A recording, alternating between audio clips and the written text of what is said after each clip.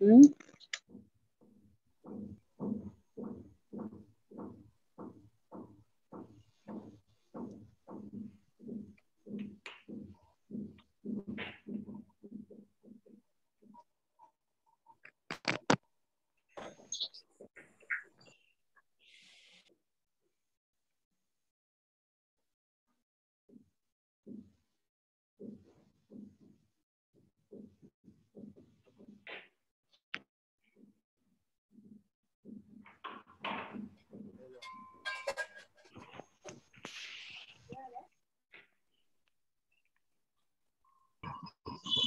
Do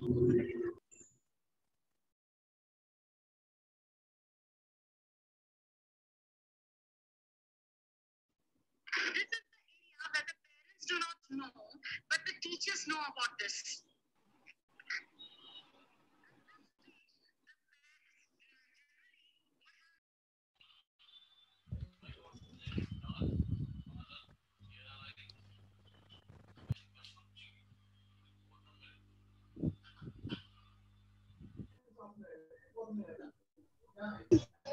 But I didn't Ricky the.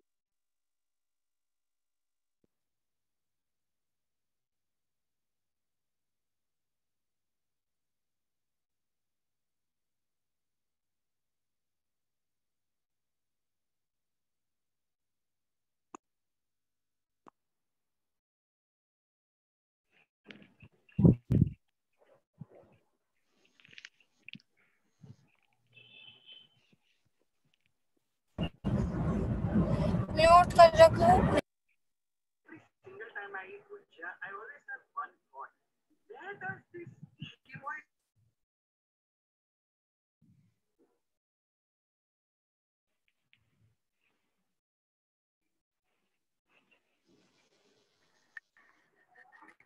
With five rupees, what you'll get more?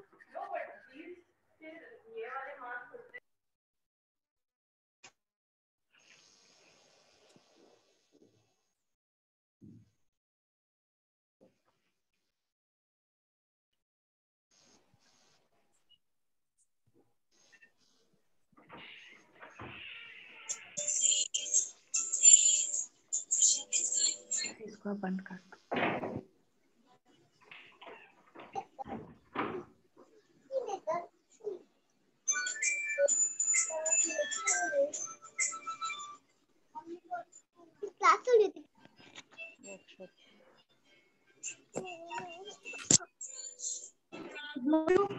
मेरे को दे दे मेरे को join करना है।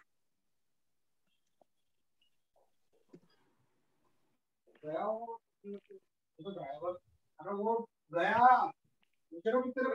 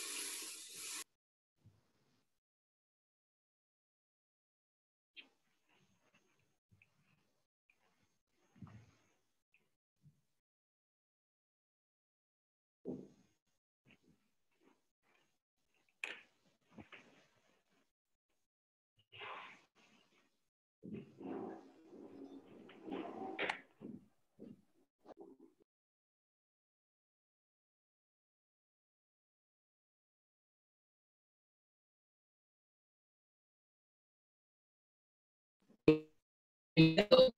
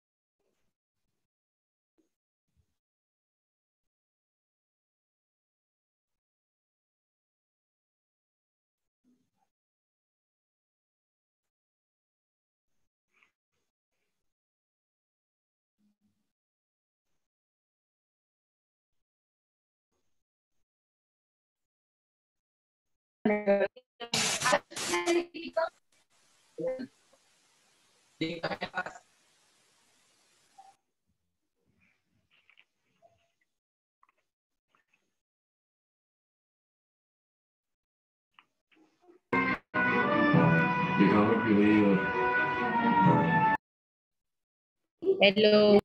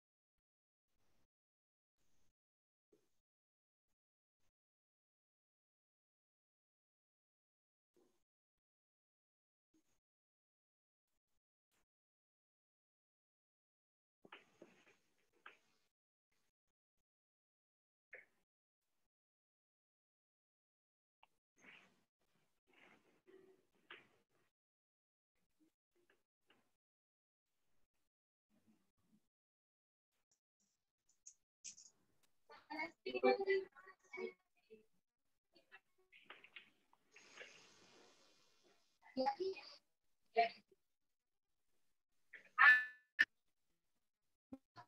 Hello.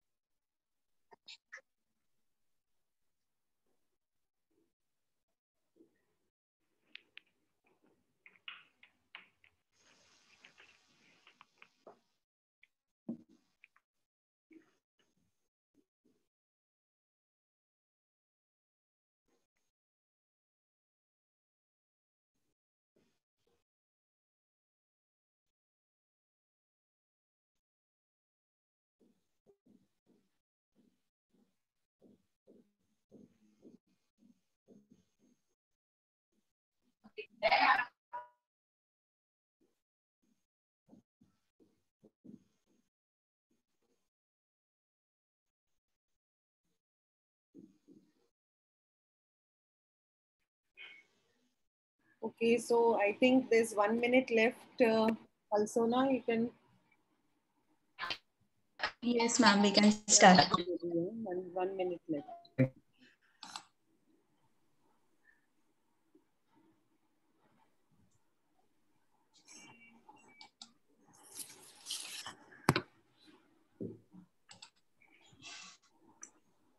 Uh, Dr. Susama, uh, can we begin? It's just, uh, ma'am. Yes, yes. Uh, so good evening participants and welcome to the mathematics webinar series 8 under strategies and solutions for mathematics learning. I request uh, our principal, Dr. Susama, to start with a few words. Good afternoon, everyone. Uh, respected uh, Father Blaise, our manager, um, uh, my colleagues, uh, teachers, uh, and all participants. On behalf of St. Xavier's Institute of Education, I welcome all participants to this webinar on strategies and solutions for boosting mathematics learning. Uh, it is conducted by the mathematics unit of St. Xavier's Institute of Education under the guidance and uh, initiative of Dr. Vinny Sebastian, Associate Professor, and also uh, mathematics pedagogy students. It is a monthly uh, webinar series, um, which is actually started from the last year, uh, 2020, and this is the eighth uh, webinar in this uh, broad uh, topic, strategies and solutions for boosting mathematics learning. The other past sessions, the last sessions also dealt with um, various pedagogies related to mathematics teaching and mathematics learning and also related to innovations. And a few sessions were on uh, research based and uh, the um, resource person shared the research findings with the participants. And also uh, the and also the the mathematics unit conduct um, need based researches small researches along with this uh, webinar series, which helps to uh, identify the need for conducting uh, webinars and also actions in this uh, regard. Uh, today's topic uh, or today's session is on technology enabled explorations, a catalyst for developing mathematical thinking by Dr. Uh, Jonaki Ghosh from Lady uh, Sri Ram College, Delhi, uh, who is a young teacher educator. She is with us.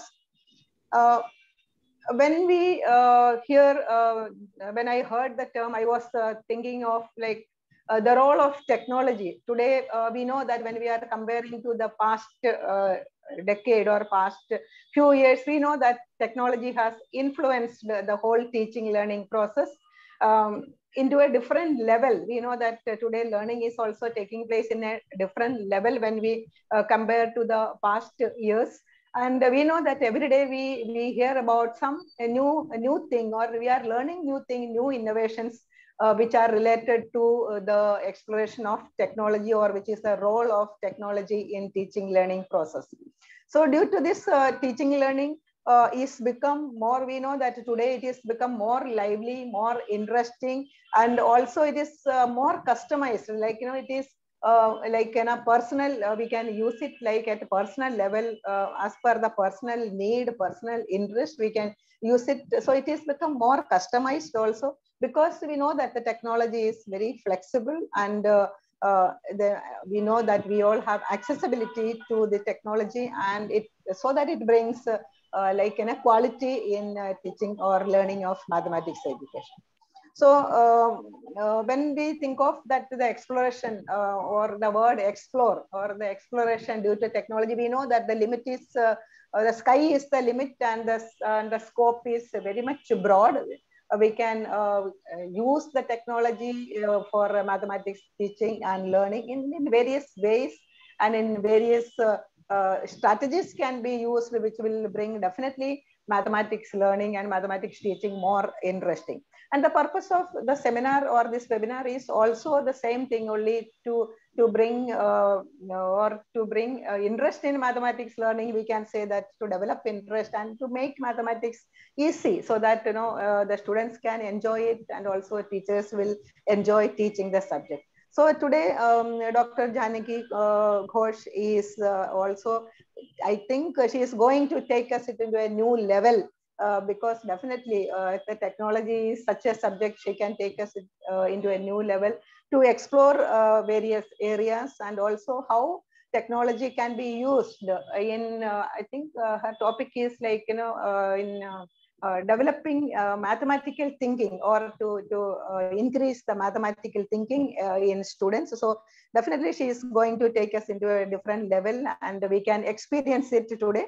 So on behalf of St. Xavier's Institute of Education, uh, I uh, welcome Dr. Jonaki to this uh, webinar and also all the best, Madam, to your session and all the best to all participants for being here. And also I wish all the best to Dr. Uh, Winnie Sebastian and her team of students uh, in exploring uh, new areas because this is also a new area that she is taking initiative. She is taking interest in making mathematics mathematics learning or mathematics teaching easy. So uh, all the best to Dr. Winnie Sebastian and her team of students and all the best to participants. Uh, so um, uh, this session may be definitely sure it will be a very interesting session and we will enjoy the session through technology. Now, so I, I, once again I welcome Dr. Jonaki to this seven. All the best to her. Um, so over to Dr. Uh, Winnie Sebastian.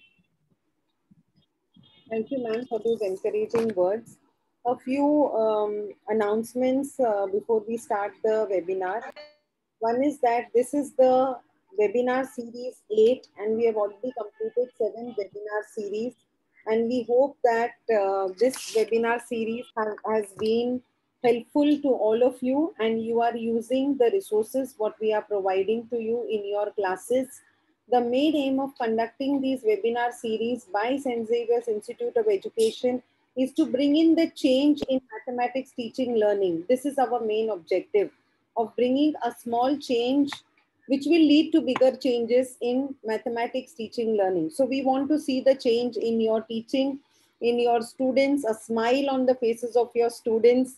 And as ma'am says that, yes, we, we want uh, everyone to enjoy mathematics teaching and mathematics learning. So that is our main objective. And we have always said that whenever you are doing any innovation in mathematics, please send us a one minute video of your innovation. We would be putting up on our mathematics uh, channel, which is mathematics learning. We already have a number of subscribers to the uh, YouTube channel. So these webinars are put up on the YouTube channel and uh, you, uh, you have to log on to the YouTube channel, Mathematics Learning for the resources which we are putting up there. The email ID is mathslearning at sxie.in, mathslearning at sxie.in.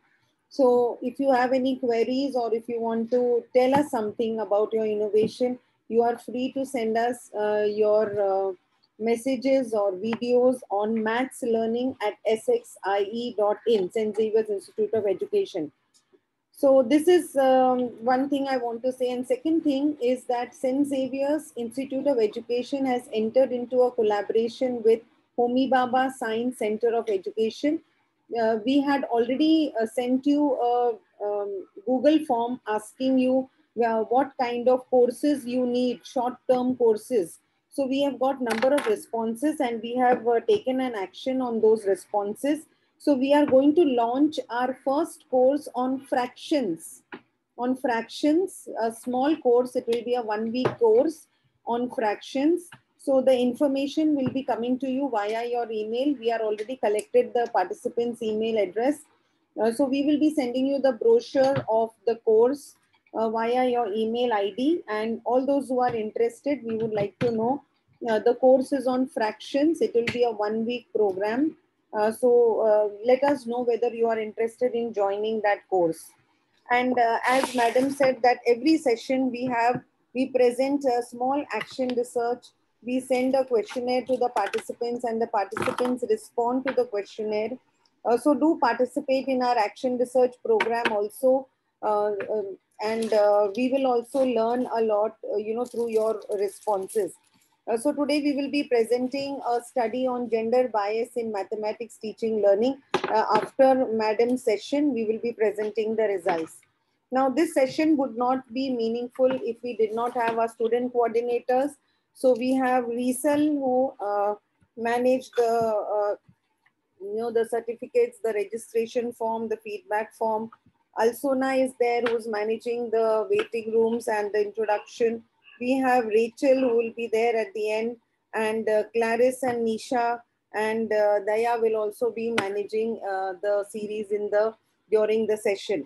So thank you very much to the student coordinators who are helping me. Uh, so we welcome our resource person, Dr. Jonaki B. Ghosh. And we, I thank you, ma'am, for accepting our invitation on the topic technology enabled explorations, a catalyst for developing mathematical thinking. Before we start, we, I request Alsona to introduce to us our resource person for the day. Alsona. Uh, good evening, everyone. It is my uh, pleasure and honor to introduce our resource person for the day, Dr. Jonaki Ghosh. So Dr. Jonaki Ghosh is a faculty in the Department of Elementary Education, Lady Shri Ram College, University of Delhi, where Madam teaches courses related to mathematics education.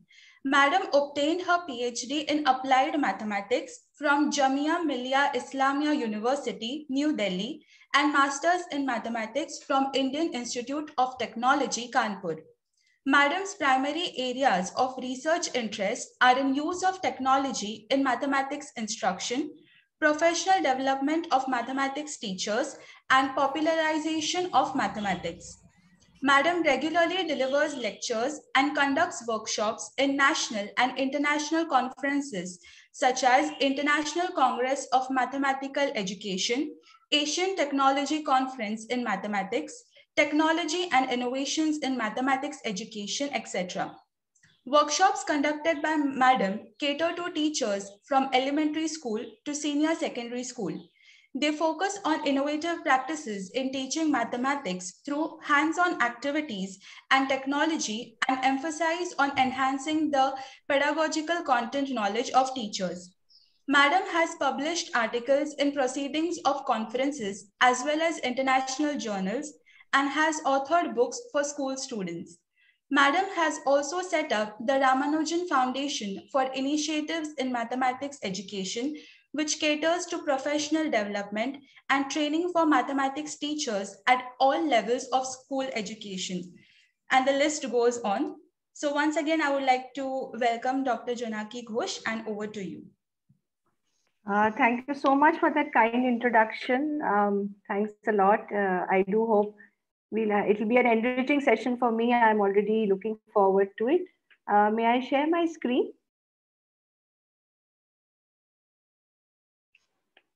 Uh, yes, yes. Yeah, I'll just uh, share the thing. Um, have you made me? Yeah, uh, the you are the co-host, so you can. So I'm not sure whether this is. Can you see the slide? Yes, yes. Okay, just.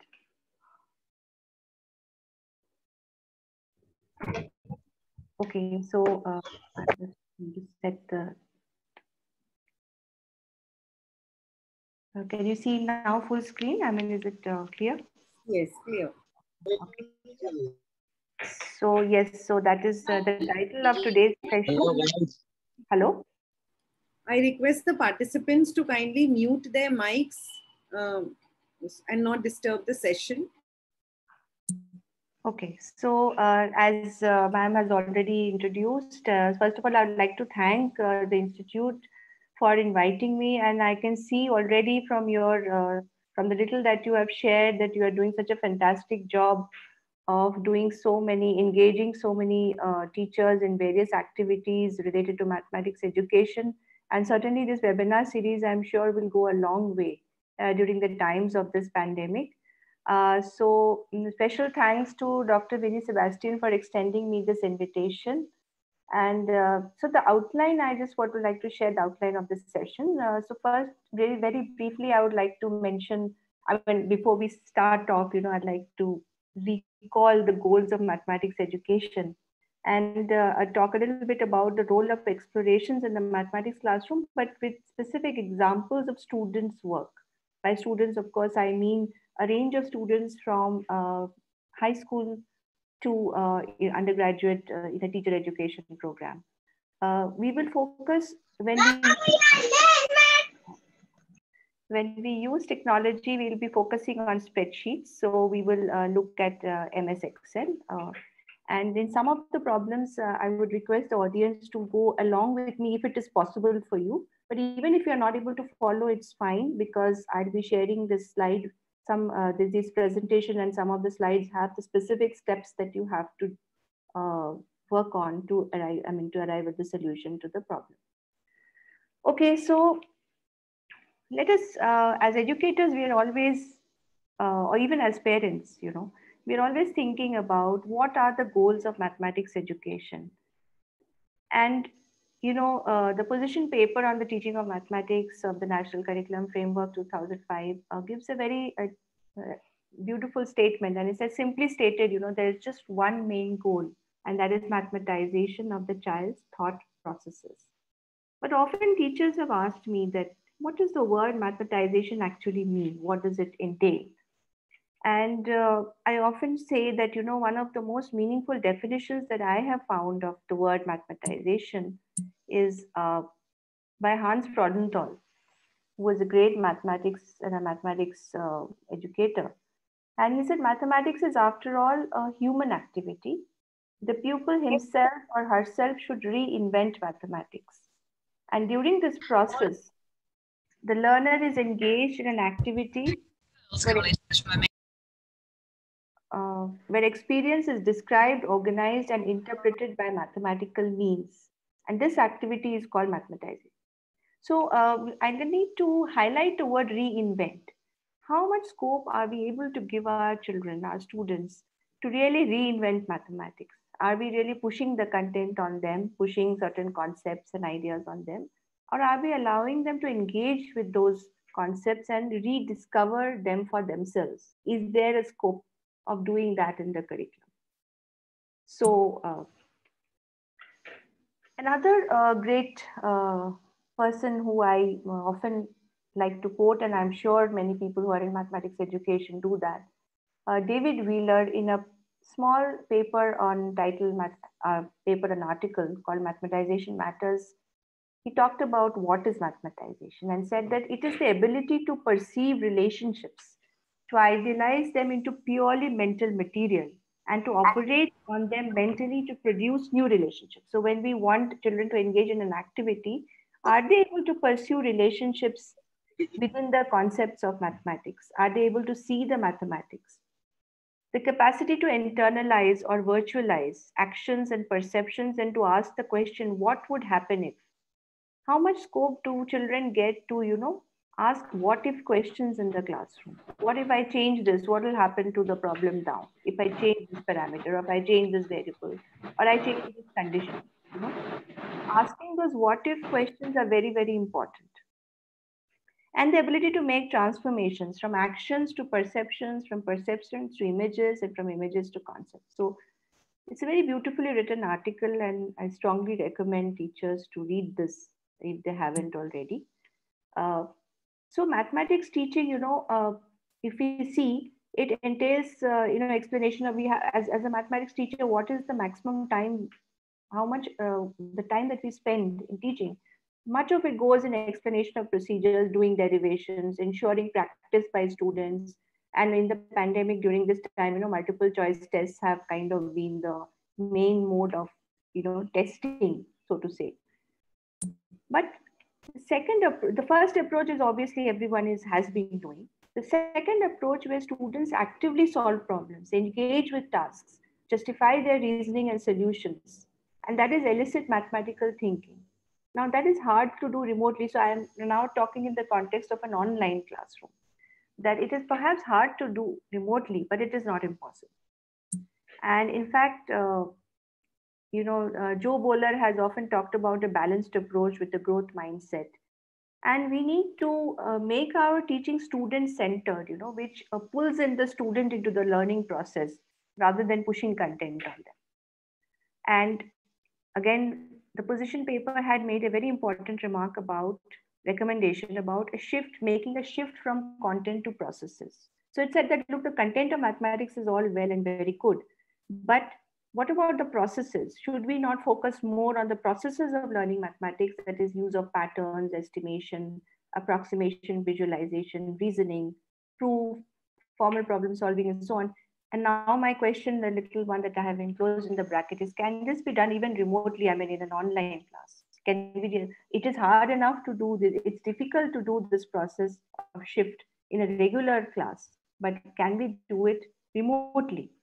And uh, well, my feeling is yes, definitely. So today's session will focus more on how we can engage students in these processes of learning mathematics. So uh, if you look at the inquiry based approach and specifically again with online teaching because that's the reality now uh, teachers need to pose challenging learning experiences that activate students mathematical thinking and these may be in the form of specially designed tasks or projects uh, students should get ample time to work individually as well as in groups uh, so you know individual work is important but working with peers and discussing problems is also important discussing solutions uh, finding strategies of solutions. You know, children should engage with their peers. Uh, students present their work from time to time and receive feedback from the support of the teacher. The teacher is takes a slight backseat, becomes a facilitator, and watches every student take part in the learning process. Uh, students, of course, must take ownership for their learning. And technology has a very critical role to play and can form a major vehicle for exploration. And later, towards the end of the presentation, I will highlight how technology can play the role of an amplifier as well as a reorganizer. And I will elaborate on the meanings of these two metaphors more uh, towards the end of the session.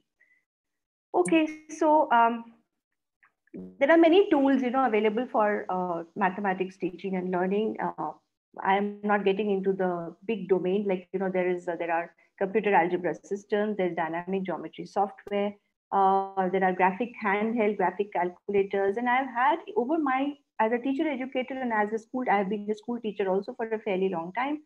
Uh, I have spent enough time on engaging with these tools for uh, encouraging students to learn mathematics.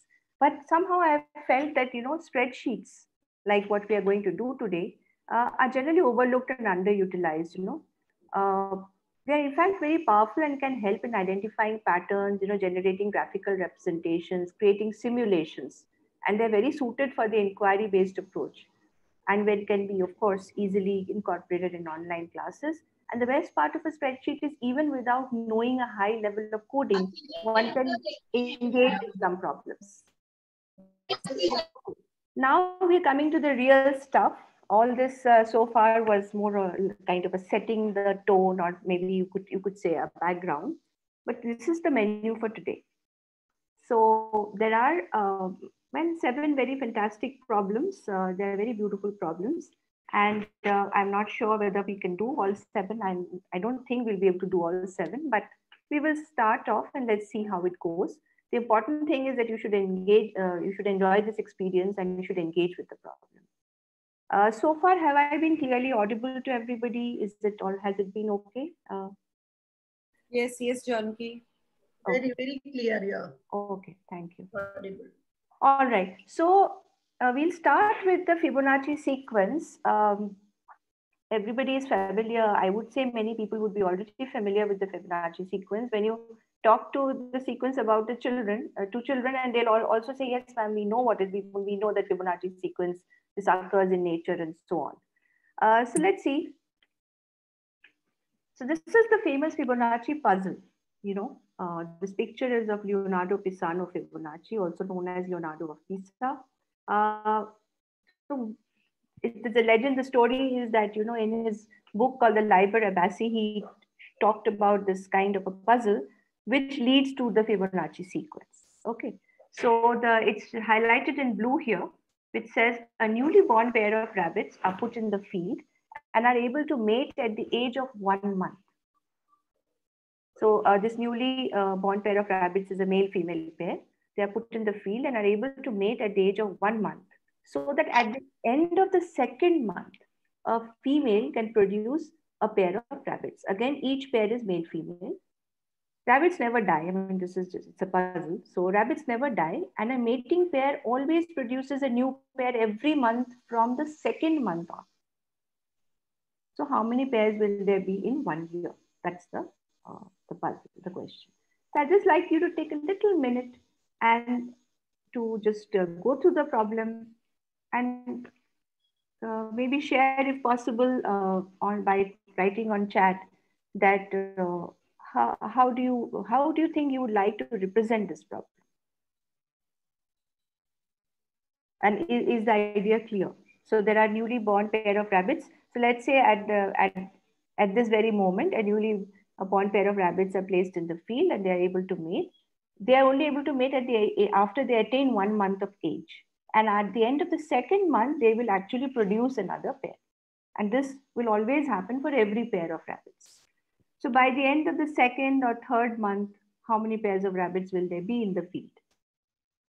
So, and how would you like to, more than the answer, how would you like to uh, approach this problem? Would you like to draw some kind of a diagram to represent it? Or what would be your approach? So if in case there are any responses on chat, uh, I would request you to share with me, else I will uh, sort of go to the next slide and. Daya and Nisha. I hope the audience has been able to uh, see the puzzle. No response, ma'am, on YouTube. Okay.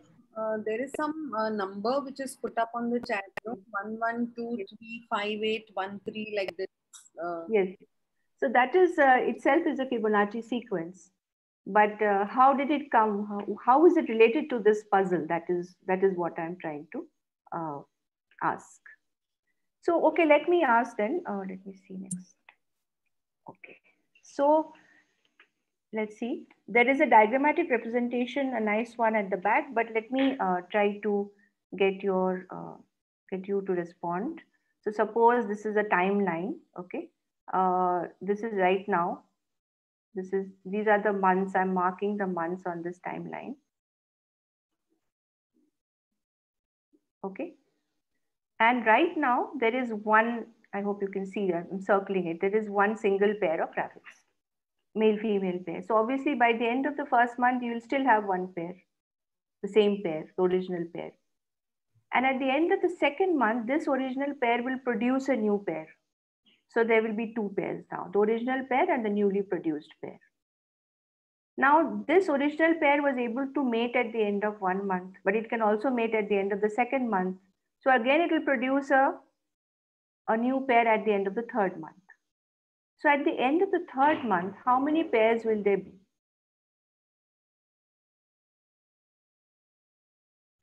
So if the audience could just answer this question that at the end of the third month, how many pairs will we have? Because at the end of the previous month, you already have two. You have the original pair and the second pair. But at the end of the third month, the original pair will again produce a new pair. So there should be three pairs at the end of the third month. And similarly now, yes? Uh, Is is there any three or four? Uh, because I'm confused. Uh, there are some uh, answers like three, four. Three and four. Yes. Our next slide, I will show a pictorial representation, which will make it clear. Now you just have to see the next month. Now come to the fourth month. You already have three, three pairs in the previous month. So obviously those three pairs will be there, right? So three plus how much? How many new pairs will I get at the end of the fourth month? Any, any, any responses for that? Yes, ma'am. 3 plus 2. Very good. Two, because the original pair which was in the field will produce a new, because see the original pair, any pair from the second month on will keep producing, no? This is what it says here. Pair, rabbits never die and a mating pair always produces a new pair every month from the second month on. So obviously there are already three pairs. Among these three pairs, the previous two older pairs will produce two more. So there will be three plus two, five here. And it goes on like that. Next will be these five pairs plus these three pairs will produce new pairs. So there will be five plus three, eight. Okay. So let's look at it this way. A very nice uh, pictorial representation is there available in Google itself. Um, okay, so the black pair is the original pair. Now it's color coded, so it's nice. Now let's see. Month zero, the first pair is the black pair. At the end of the first month, the same black pair remains and they're able to mate. At the end of the second month, this black pair produces this purple pair, newly born purple pair. So we have the black pair and the purple pair. So at the end of the second month, we have two pairs. Now come to the end of the third month. The black pair remains, जो पहले था वो तो रहेगा. so whatever was there in the previous month will always remain. So the black and the purple pair remain, but it is only the black pair which will now produce another new pair, which is the red pair. The purple pair will not produce because it is too young. It can only mate at the end of the first month. Second month on, the purple pair will also start producing. And this goes on. So at the end of the third month, we have three pairs, the red, the black, and the purple. Now let's go to the fourth month. These three which were there in the end of the third will obviously, these three will remain. But which can, can the audience tell me the blue pair and the green, the new pairs will be produced by which pairs? Now there are colors, so you can. Black pair. Black and uh, purple. Yes, very good. So let's Black say the black purple. pair produces this and the purple pair produces this. The red pair is still too young. It, it can mate at the end of this month, but only second month on it can produce. And it goes on like this. So obviously at the end of the fifth month, these all these five pairs will remain. So these five pairs will remain. The new pairs, the three new pairs will be produced by these three rabbit pairs. The this uh, orange color, uh, the pink one and the brown one will be produced by these three pairs. So eight pairs. So to get the number of pairs for the next month on, how many pairs will I have? So it will be simply the sum of the previous two numbers. These two will give me the new. number of pairs at the end of the sixth month. And therefore, this is the Fibonacci sequence. So one, one, the number of pairs of rabbits at the end of any month, one, one, two, three, five, eight. Now you can tell me what will be the next one after 13? 21. 21. 13 plus 8, 21. 21 plus uh, 13 is uh, 34. 34. And it will go on, right? So I hope the idea is clear. I mean, of course, I could have just started with the Fibonacci sequence, but it wouldn't be fun unless I related it to the actual puzzle. And this is the puzzle, and this is how you get the sequence. Okay. So moving ahead, so Fibonacci sequence can be generated. So we say that we our two initial values are one and one because initial pair there's only one pair, and we add them to get the third term of the sequence. So and every subsequent term is the sum of the previous two. So 21, so we know 1, 1. 1 plus 1 is 2, 1 plus 2 is 3, 2 plus 3 is 5, and so on. And we wrote out the next few. Okay, let's do it just quickly again. Just for the audience to be clear. So 13 plus 21 is 34. Next term will be 55. Next term will be 34 plus 55, which is 89. 89. Next will be 55 plus 89. 144. 144. One. Next, 233. 233. So if I know the previous two terms, I can always get the next term. And this can be written in a recursive manner. So this is a notation like, of course, the first Fibonacci number is 1. The second Fibonacci number is 1. The third Fibonacci number is 2. But for certain reasons, we just we can say that 0, F0, the zeroth Fibonacci number is 0 because if we write it in the recursive relation form, where we say f of n, f of n denotes the nth Fibonacci number.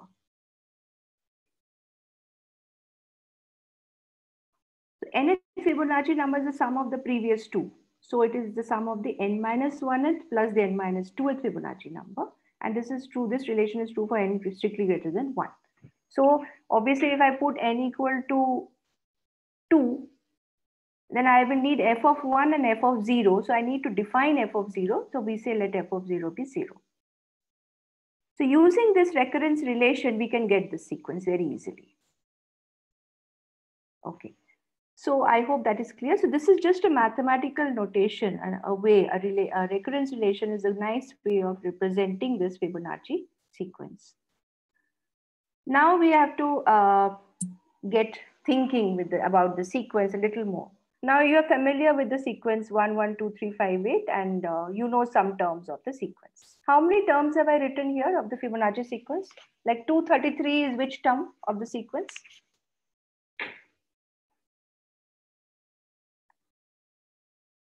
13.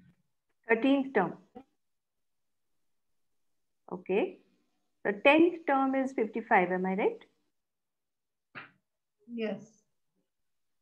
13th term is 233. Okay. So can you guess how large will be the 40th Fibonacci number?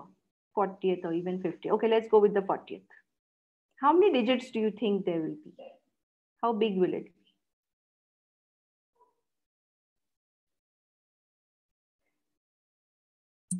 So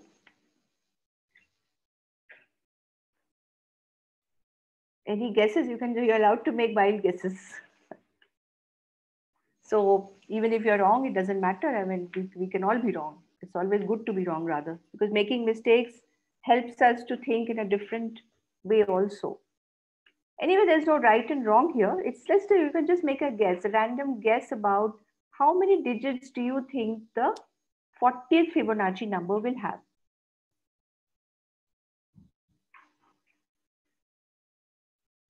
No, no guesses from the audience? 34, no, five digits they are saying. Five, Five digits. Okay, excellent. Five digits. Any other, any other number?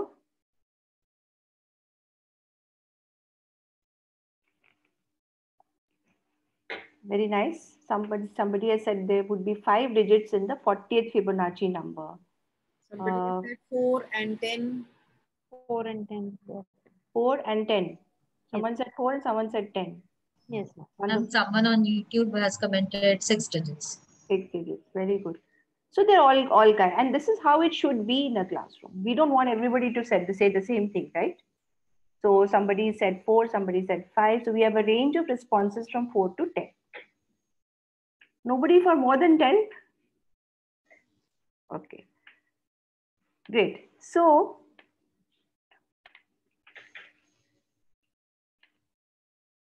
oh sorry uh, yes so the question was how many so we now we're going to do a little bit of an exploration uh, so i asked you how big do you think or how many digits do you think the 40th fibonacci number will have but we are also going to now look at the actual fibonacci sequence and the ratios of successive terms so uh, like uh, let me write, rewrite the sequence here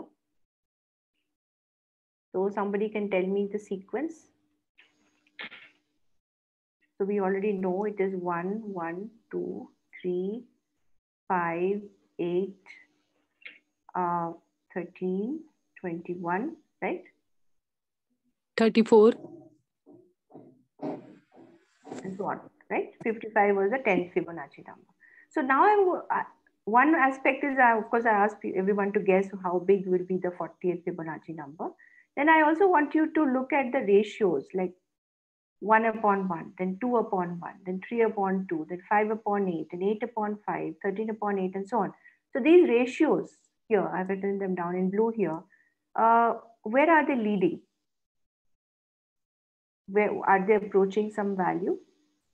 Okay, that's one exploration we will do. Then we will take ratios of alternate terms. Then we will do 2 upon 1, 3 upon 1, leaving one gap, 5 upon 2, 8 upon 3, 13 upon 5 and so on and see where is this sequence leading to and where is this sequence leading to. These are sequence with gaps of one alternate terms. Um, and more importantly, uh, we'll come to this also. Anyway, let's, so now let me take you to a spreadsheet. So if you have access to a spreadsheet, it will be nice. Otherwise you can just watch, but you'll continue to think, right? So now I'm going to uh, open an Excel sheet. So please tell me if it is visible. Is the Excel sheet visible? Yes, ma'am. Yes. Okay, I need to uh, enlarge it slightly. Okay, great. Now what I'm going to do quickly is, uh, see, I want, I always feel comfortable to have a column which is called the serial number column. So these are just headings I'm giving, serial number. In this column B, so column A is only going to have serial numbers. Column B, I'm going to uh, create the Fibonacci sequence. So I'm just writing fib. Column C, I'm going to take ratios. So maybe I'll call this the nth Fibonacci number.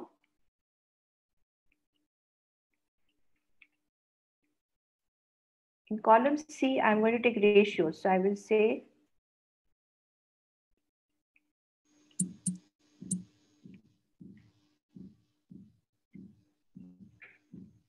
So ratios of successive terms. These are just titles, so don't worry. You, you, it's optional. You need not even write it, but this is just for your understanding. And in the next column, I'm going to have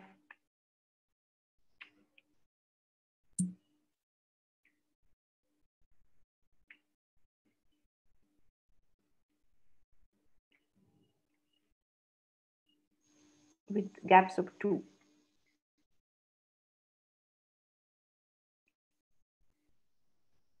So again, I mentioned this is just a title.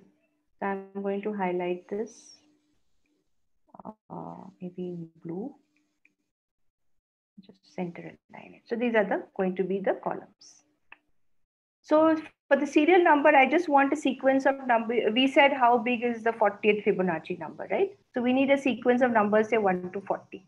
So what I will do is in the cell A2, I'll enter this number 1.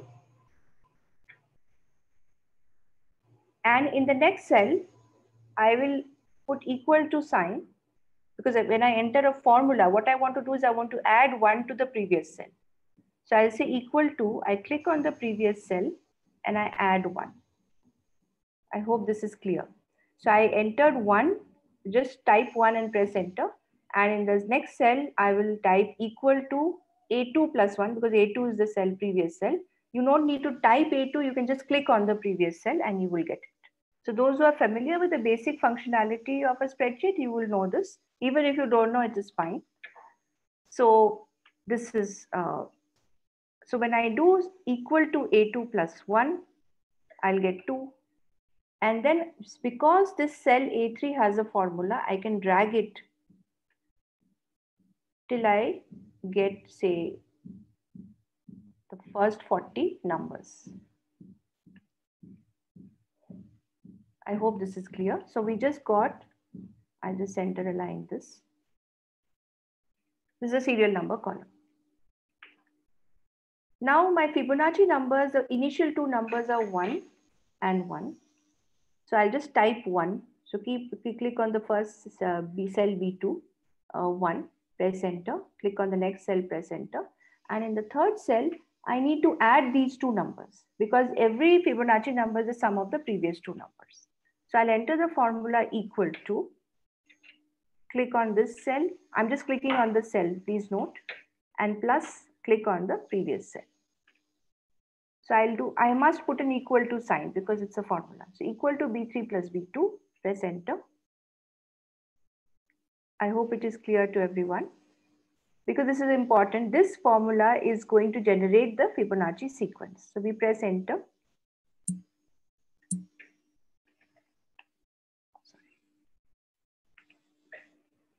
Okay. Now, having done that, you see that the first three Fibonacci numbers are now visible, 1, 1, 2. And the formula is in this cell. So I could drag further, but instead of dragging, because I already have a column to the left, I'm just going to uh, double click in the corner of the cell. So when the cell, the cursor becomes a small plus symbol in the corner, I just double click. And that double clicking will evaluate the formula in the cell and create all the Fibonacci numbers. Okay, so let's do that. I double clicked in the corner of the cell and this entire column got generated. I've center aligned it. So now, do you want those who made guesses, do you want to revise your guess? How many digits will the 40th Fibonacci number have? I can see the 23rd, 24th one. So the 24th number already has five digits. So uh, I guess whose guess was correct? Do you think? We had somebody said five, six, I think someone said four and someone said 10 also, right? Okay, so when we scroll down, we see that the, this is the 40th Fibonacci number. I'm going to highlight it in red just for uh, so it has nine digits. So you see this is a very fast growing sequence, right? And you can also, uh, you can easily graph this sequence also. Uh, we'll do that in a bit.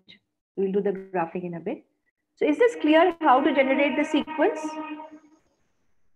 So all I did was I created a column of numbers from 1 to 40 and then in column B, I entered the first two values. So let's let, let me highlight these in red because these are important. These are the first two values of the sequence. And I entered a formula here, which was the sum of these two cells. And when I double clicked in the corner, I got the entire sequence. I mean, I got the sequence up to the 40th term. Is it is this idea clear to everybody how to go about this? Yes, clear. Great. Okay. Now I said that I'm interested to know what happens to the ratios of successive terms. So what formula should I be putting here? Do you think? Because I need one upon one, right? So what I'm going to do in this cell is put an equal to sign, click on this cell B3, divided by B2, so slash B2. This is again, I'm just entering a formula because when you evaluate this cell, it will give you the ratios of successive terms. Uh, okay, so let me press enter. Obviously, the answer is 1 because 1 upon 1 is 1. But thereafter, next ratio should be 2 upon 1, which is 2. The next ratio should be 3 upon 2, which is 1.5, and so on. So all I need to do is, again, as I did before, I just bring the cursor to the corner of the cell and double click. Okay, for convenience, let me center the lines. And please have a look at this third column and tell me what is your observation? What happens? What do you think is happening after some time? After decimal, the value. Yes, ma'am. You're right. Even for decimal also is the same. So it tends to steady out at least to a certain number of decimal places. If I reduce the column width by dragging, see this was here, I bring the cursor to the joint between the C and D column and I just reduce the column width. Uh, well, let me reduce it. So let's say we have about uh, five, uh, six or seven decimal places. We see that after some time, it's all steady. Let's let me highlight this 1.618034. Have you heard of this? This is a special number. It's a special ratio. This ratio is called the golden ratio, which is very much there in nature also and you know many architects in the olden days used, used to use the golden ratio in their in constructing buildings and so on so this is the golden ratio so and what is this ratio this comes by taking the ratios of successive terms of the fibonacci sequence right so now i want you to i want to ask you that this number is steady. So what, but what will happen if I make a change in the first two numbers instead of one and one, suppose I change the two numbers to something else. What do you think will happen? Will this ratio change?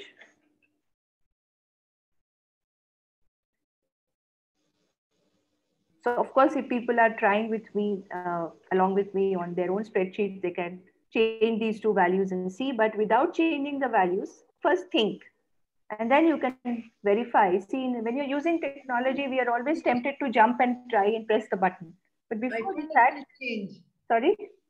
It will change. I yes. guess it will change. Yes. So one response is it will change. It is likely to change no, because not change.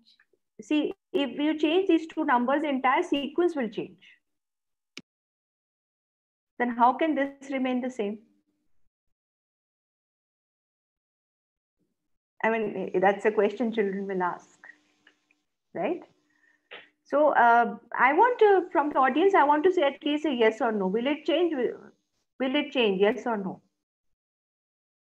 I can't see the chat, but. I mean, you're saying no on the chat, on Zoom chat. Ah, people are, people are feeling that it will not change. So is that answer because you've tried and tried it or you intuitively feel it will not change?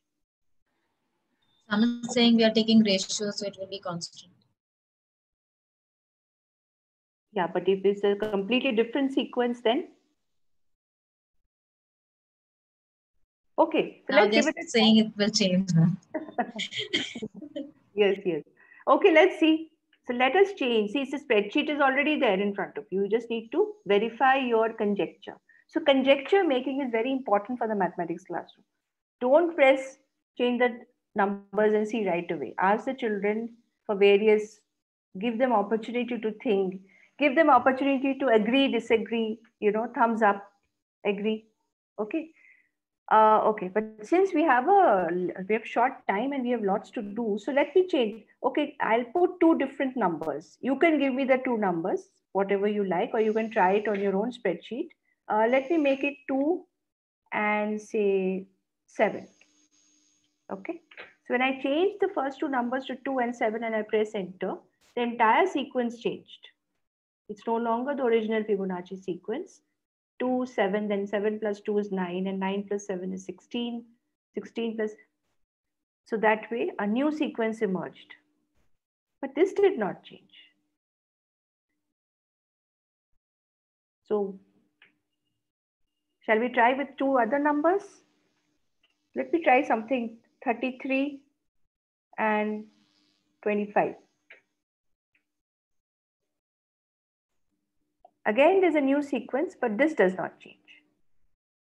Of course, uh, the decimals may change slightly, but rounding off to three or four decimal places, it remains the same, right? Well, so there's something going on here and we need to justify this mathematically, why this is not changing. Why this golden ratio is still is stable, okay? So this is something we got to answer. So I want to come back to one and one. Okay, the next one was again something interesting. Now I want to, I'm going to do it a bit faster now. I'm going to take ratios of B4 upon slash B2. So I'm going to take ratios with gaps of one. So the formula will be here, in, inserted here in cell D4, which is equal to B4 upon B2. Press enter and double click in the corner. Now what do you observe? Something is happening here as well. And if I reduce the column width, I will see that this is also steadying out. Let's say, let, us suppose I mark this in red. 2.618034, which is just one more than this. So this uh, golden ratio is represented by the symbol phi or 5 if you like. So this is phi and this is phi plus 1. So something is going on here. We need to we need to be clear about what is going on here, right? So we need to first of all we let's just justify why this is there 1.618. Whatever sequence. Uh, okay, now let me change and you have a look at whether this is changing or not.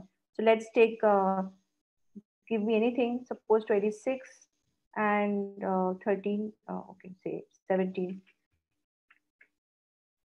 whatever you do to these initial numbers, these, these ratio values seem to be independent of that. And that requires a mathematical explanation, right? Okay, so let's see. The magic is happening here. So let's get into the bottom of the. Okay, um, are you able to now see my PowerPoint slide? Yes, but Jonaki, can you please uh, give that uh, formula which you put for the third column? I missed yes, it. Yes, sure, sure. Yes. So here in this uh, cell, I inserted B4 slash B2 equal to B4 because I wanted 2 upon 1. So I just clicked on these two cells, right? Equal to B4 slash for division B2. Thank you. As you can see in the formula bar, it is showing, right? And that is because we want gaps of 1. If you wanted gaps of 2, next time you can do you know, you should explore more. So you can do uh, this upon one, three upon one, and so on. Gaps of two, then gaps of three. Each time the column will steady out somewhere, and those values may have some connection to do something to do with phi, right? That's what we want to look at. Can you see my PowerPoint slide right now? Yes. Okay. So let's uh, let's answer this question. See, I'll just do a quick uh, so the Fibonacci sequence tells us that f of n plus 1 is equal to f of n plus f of n minus 1. Written in the recursive form, the n plus 1th Fibonacci number is the sum of the nth plus the n minus 1th Fibonacci number. Okay. And what I observed in that column, the column, now you have to think of the column. I can't show you both simultaneously, but you have to think of the column which steadied out at the value 1.618034, right? This was the steady value. That column we found that after a certain value of n, the ratios were not changing. So f of n plus 1 upon fn was equal to fn upon fn minus 1, right? So Is this clear? That after a certain value of n, the ratios were stable, was were not changing. So f of n plus 1 upon fn was equal to fn upon fn minus 1. But then if in this relation, let us, we want to show that this ratio actually converges to this. So let, let's suppose this upon this is equal to x, some value x. What do we want to show? We want to show that x is actually 1.618. Okay, So why are we writing this relation? Because after a certain value of n, we found that like the 20th upon the 19th was equal to the 21st upon the 20th, 20th and so on. So some value of n was there for which this is true. And let this ratio be x. Now I can use the relation 1 here. I can replace the f of n plus 1 by fn plus fn minus 1. So I'm just rewriting this with this, replacing this with.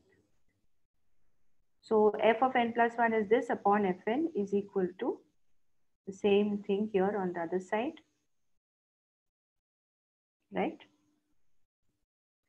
Which is of course equal to x.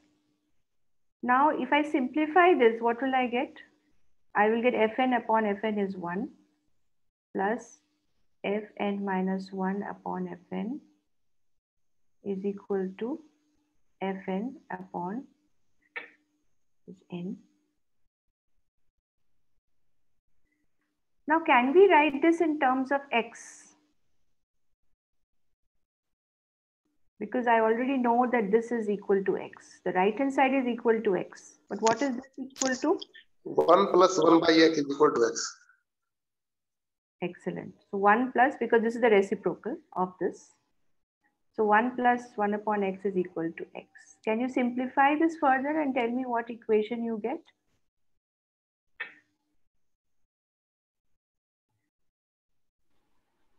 x square minus x minus 1 is equal to 0. So we get a quadratic equation, right? What are the roots? x will be equal to minus b, so 1 plus minus square root of b square minus 4ac upon 2. So any class 10 child can understand this. Root 5 upon 2, right? But if I take 1 minus root 5 upon 2 as the value of x, that's not permissible because it will give me a negative value, you know, and this is a ratio. So I would like to ignore the minus and I would like to go with only 1 plus root 5 upon 2. You can simplify this on the spreadsheet or using a calculator and this is nothing but 1.618 rounded to three decimal places. And, and notice that when we did this derivation, did we talk about the first two values of the sequence? Did we use the fact that the first two values of the Fibonacci sequence are 1 and 1? We did not. Hmm. This entire derivation was independent of the choice of the first two numbers. And therefore it was happening. Whatever you do, ultimately your equation is going to be this only, na? x square minus x minus 1 equal to 0. Now, what is this symbol? This we denote this with the symbol phi. Okay, the gold. This is called the golden ratio. It's a it's an interesting uh, thing to see how artists will use.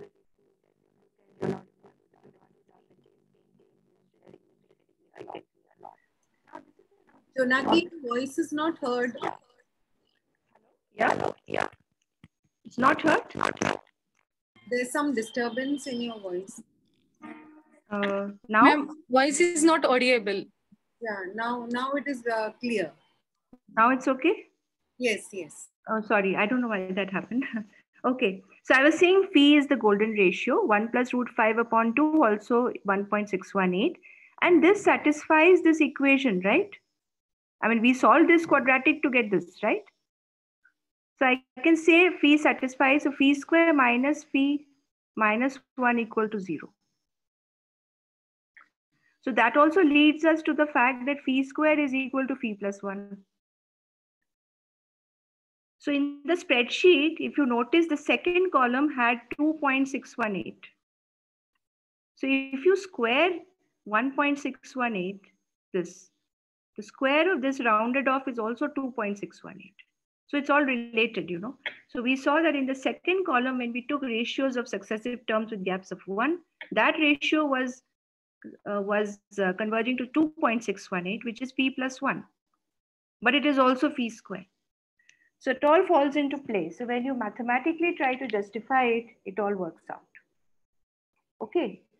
So there is a video which I'll share with you, which again gives all this derivation. So don't worry if you've missed any part, but we can't just stick to one problem. I remember I showed you seven and it's already five and we are just still at the first one, but that does not matter. The whole point is that we need to understand what we are doing.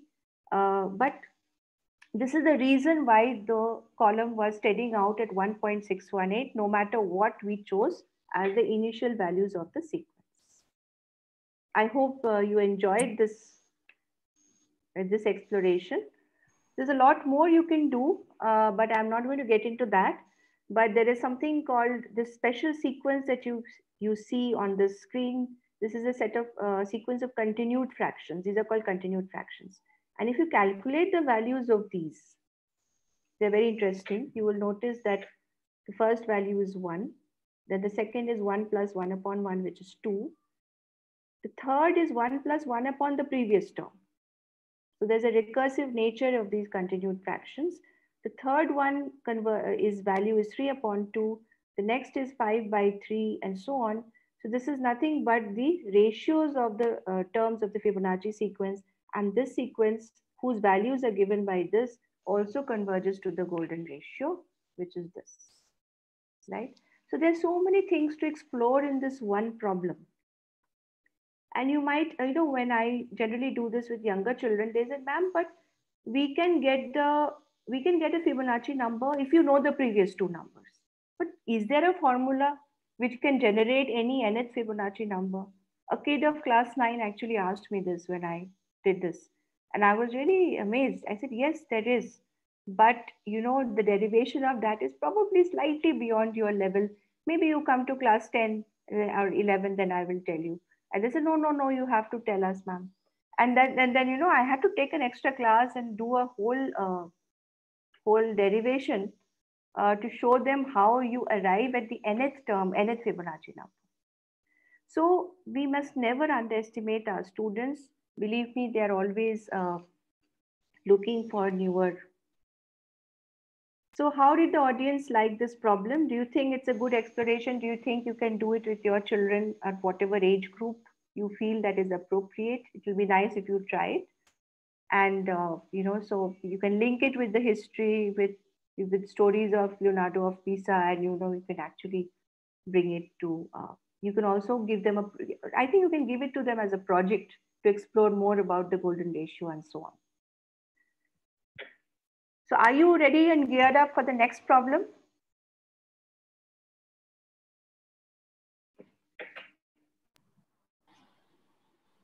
Yes, ma'am, they are putting up on the Yes, yes, thank you. I don't know if you can see the title of the screen. Can you see what is written on the title bar? Yes, ma'am. The spaghetti problem. Yes, yes, the spaghetti problem. Yes. It's also called the stick problem or something like that. Okay, so the problem is right in front of you on the screen. There's a spaghetti stick of length L. And you break it into three parts. Normally, you know, when you bend a stick, it generally does not break into two parts, they say, but that's another problem. Maybe the phys- physicists can answer that question. But they will break into three parts, let's say. Now, when you try to join those three parts to form a triangle, they may or they may not form a triangle, right? So there will be some cases where the broken parts form a triangle. There'll be some where the broken parts do not form a tri- triangle. But what is the probability that these three parts will form a triangle? So that is the question. So this is a problem in geometric probability, we can say, but let's try to understand. And we'll of course uh, solve the problem on a spreadsheet. So see, what the problem says is, this is the stick, let's say this is a stick of length L, right? Uh, the total length is L. Uh, let's say uh, I have, it breaks into three parts. So the length of the first part is X, the second part is Y. And obviously then the third part will be L minus X minus Y. Okay. Under what condition will these three lengths? So there are now three pieces, one of length X, one of length Y, and the third one is of length L minus X minus Y. Under what condition will this form a triangle? Can the audience uh, share any? Time the sum of two sides should be always greater than the third one. Yes, the triangle inequality, right? Yes. So from that we would get either we need that x plus y should be greater than L minus x minus y. Yes. So these two pieces, it should be greater than this. What does that lead us to? What equation do we get from that? We can take the x and the y. So we get two times of x plus y is greater than L or x plus y is greater than L by 2. Or we need that maybe x plus this should be greater than the third side y. So any two, right? We can take any two of these three and that should be the sum of that should be greater than the third. That's, that's what our triangle inequality is, right? So what will we get from here? Now I'm the second case. First L case, minus y is greater than y. so L is greater than 2y. So y is less than L by 2. Right? Now I take these two. So y plus L minus x minus y is greater than x. What does this give us? y and minus y. So x will be less than L by 2. So we get these inequalities emerging from the triangle inequality itself, right? So, okay, so now what happens is, in general, x is the length of one of the pieces. Y is, let's say x is the length of one piece and y, ideal, I mean, x can take any value from 0 to L, right? Of course, if x is the whole of L, then that's also one possibility but that's a, one of the extreme cases which will not happen right but if i want to represent this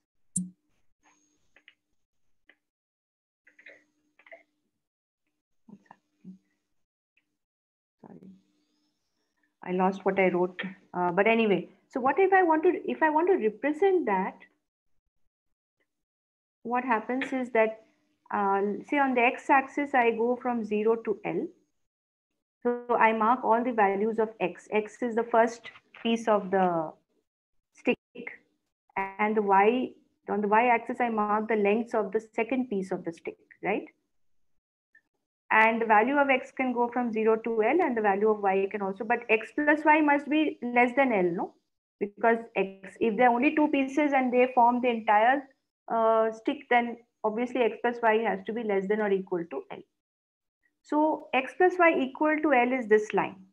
If you plot the line as a linear equation, x plus y, if this is L0, if this point is L0 and this point is 0 comma L, then x plus y equal to L is this line. But we also got an inequality that x plus y should be greater than L by 2, right? From the first condition. So if I take this this is the midpoint so this is 0 uh, this is l by 2 0 and here also this is l by 0 l by 2 if i join these two points i will get the equation x plus y equal to l by 2 but this is a linear equation. I have a linear inequality which says that x plus y must be greater than. So it should be on this side. So i'm going to get a feasible region. So i have two conditions. X plus y should be less than or equal to L, which means it should lie on this side of this line. I also had, I have this condition, which means that it, x plus y should be greater than L by 2. I also had the condition that x was less than L by 2 and y was less than L by 2. Okay. What about x equal to L by 2? x equal to L by 2 is a straight line parallel to the y-axis passing through this point. So this line is x equal to L by 2. But x less than L by 2 means that the solution should be on this side. And y equal to L by 2 is a line parallel to the x-axis. And y less than L by 2 would be below this line. Now, do you see these arrows? What are they pointing to? So what I need is a feasible region, the common region to all these inequalities in the first quadrant. What does it indicate, the common region? Where do you think, uh, what solution will be common to all these four inequalities? X less than L by 2 is on the left side of this line here.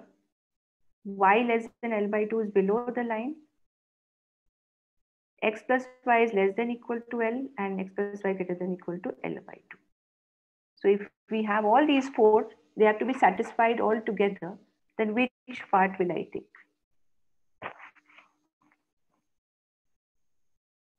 Which is the common feasible region is what I'm asking.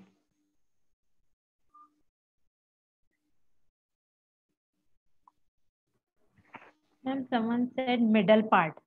Yes.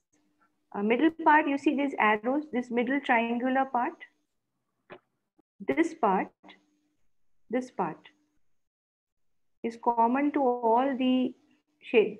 See, if I have a shaded region, you know, which, uh, which, let me take another color. If I have a shaded region for this one, right, for the, this line, then I have a shaded region for this line then I have something below this and I have something on the left side of this. Ultimately, what is common to all these four inequalities will be only this triangular region. Okay. So this is now the new shading that I'm doing black. So can you tell me the area of this triangle?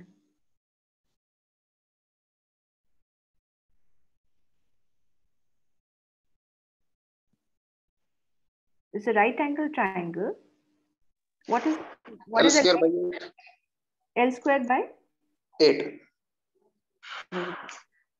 So, sir, let me uh, give this point A. Let me call this B. This point, and let me call this C. Right. So, triangle A A B C area is what? L square by 8. 8. Okay. So this represents all those cases where the spaghetti stick, when broken, will actually form a triangle, right? Do you agree with that, sir? Does the audience agree with this? That these represent those cases where the three sticks will form a triangle because the, this triangle has emerged from these inequalities and these inequalities represent the triangle inequality which says that, you know. But if I take this whole big triangle, what is the area of this whole big triangle? The whole big triangle represents the entire sample space. So the probability of obtaining a triangle will be the favorable cases upon the total number of cases, right? So the probability will be favorable cases, which is L squared by 8, upon the total number of cases which is represented by the area of this entire big triangle. What is the area L of square by 2. L square, L square by 2. L square by 2. Half base into height, right? How much is this? L square. 1 by 4. So the theoretical probability that if you break a spaghetti stick, the three pieces that you get will form a triangle is actually only one, is exactly one fourth, the theoretical probability, right? Okay, so this is the analysis of the problem, right? But let me now uh, take you to this. Just, so this is, these are the steps how we are going to uh, simulate it. Let's simulate it now on the spreadsheet. Let's see if I can manage to. Okay.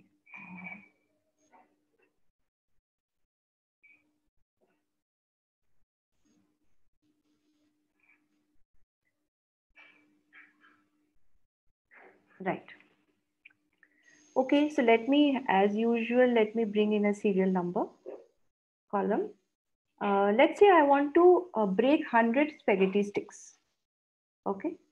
So I can't actually physically break sticks and start measuring their lengths, right? So I need to uh, simulate this experiment somehow. Okay, so let me quickly do this.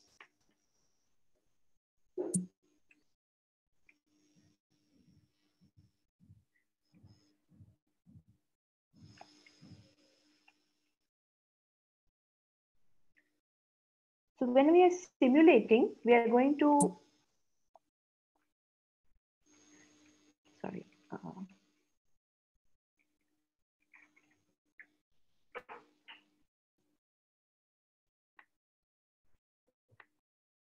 okay. So what I'm going to quickly do is, uh, I'm going to enter a serial number. So let me just highlight these for you in blue so that you are, because for better visibility. So what I'm going to do is I'm going to randomly see if I have a stick and there are two cuts. So what, let's assume there's a stick of length 100 units, whatever that 100 may be. And I want to select two random numbers between 1 and 100. And these two random numbers are going to represent the cuts, right? The first cut, uh, so let's say the first cut is, is at X and the second cut is at Y. But both these are numbers between 0 and 100, 1 and 100, let's say. And then I'm going to ABC represent the three sides of the triangle. So I'm going to use conditional statements to uh, actually assign values to ABC and then check from the condition, does it form a triangle or not? Okay, so let me quickly show you. So I'm going to enter one in this. I'm just going to have a serial number from one to 100. So I'm going to say like we did before, previous cell plus one. But if you don't want to drag this all the way up, to, I can drag it. But if you don't want to drag it all the way up to 100, there's also another way to do it. You can go to the fill. We can go to the fill option. Uh, if you can see the fill option on your spreadsheet, that's fine. Otherwise, you can just drag and do it. Uh, but there is within fill, there's a series option. So series may you go to columns and you say that the step value should be one and the stop value should be 100. That means you want a sequence of numbers from 1 to 100. And you say, okay. If you do that, you'll quickly get, suppose you want a sequence of numbers from 1 to 500. So it's a bit, bit difficult to keep dragging till 500. So I have just used the fill command. Within the fill command, the series option. Okay. All right. Now let me just center align this. Okay. Now the first cut on the line should be a random number between 1 and 100. So Excel has this rand between command. So if I type R, automatically rand or rand between will come. Otherwise, you can type it. So what does this mean? It will randomly pick a number between 1 and 100 and it will generate it. So you'll have to type equal to rand between. When you type rand, you'll Excel will offer you the command. You just select the command and within round brackets, you type 1 comma 100. Okay, so let's press enter. Like in your case, it may be different because every number is going to get randomly generated. But my first value is coming out to be 80. So I selected a number between 1 and 100, right? Okay, now y also should be a number between 1 and 100. So what I will do is I'm just going to drag this to the next cell. Notice that the first number changed. That doesn't matter because every time you click on the sheet or you click on the cell, a new random number between 1 and 100 will get generated. Okay, now before you try it yourself, let's just understand what is happening. See, the first cut, the first break is at say 43 units and the next break is at 87 units, right? So I should have that the length of my one side is A, which is 43. The next length should be 87 minus 43 because this is from 1 to 87. So the first 43 units is taken up by side A. Then 87 minus 43 should be the next side and the balance of 100 of the sum of these two should be the third side right? Is the idea clear? Uh, yes, Jonaki, but I have a problem. Uh, yes. I'm getting you are having this column x43 that's uh, smaller than this number 87 y, ah, but ah. I'm getting 43 on x and on in y I'm getting 4. So is it okay? Yes, yes, it is okay. Yes. So the smaller value will be assigned to A. Okay. okay. So now I will enter in A, I will enter this if condition. Okay. If bracket, what does the if condition say? If this cell is less than or equal to the next this cell. So if condition is like this, you know, you can see Excel is telling us a logical test and what happens if it is true and what happens if it is false. So if the value of X is less than the value of Y, then A should be assigned the value which is in cell B3, else it should be assigned the value which is in the next cell, which is uh, C3. Is it is the idea clear now?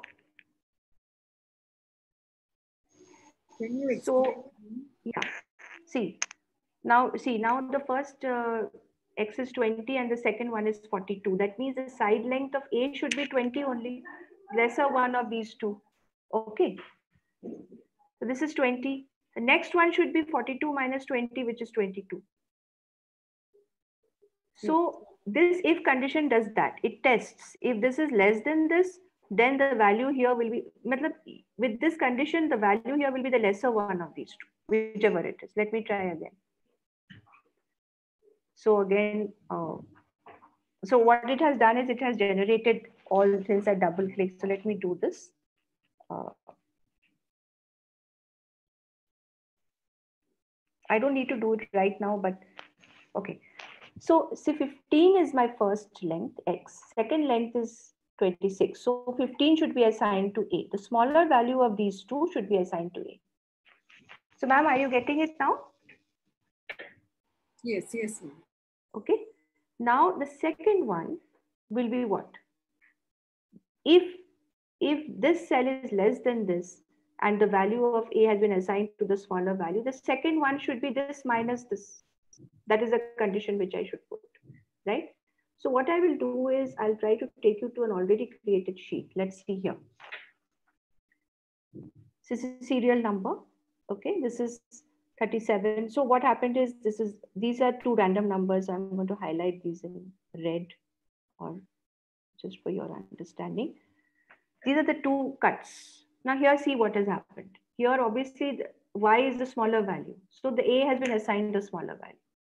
The difference of these two is 9, which has been assigned to B.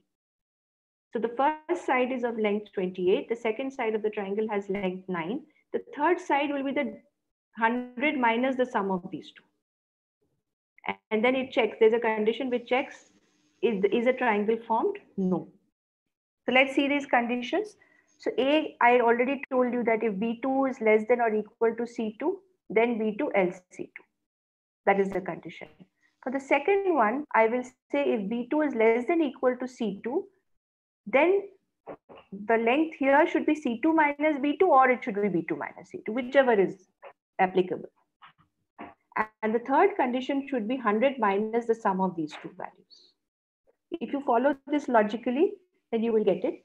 The third last condition checks does that is a triangle formed with these three side lengths if a is 28 and b is 9 and c is 63 is a triangle formed and that can be checked by the condition which say that if the maximum value of these three values is less than 50 then only the triangle because uh, because my uh, spaghetti length is 100 units so the maximum value of any side length should be less than 50 then only the triangle will be formed L by 2, 50, right?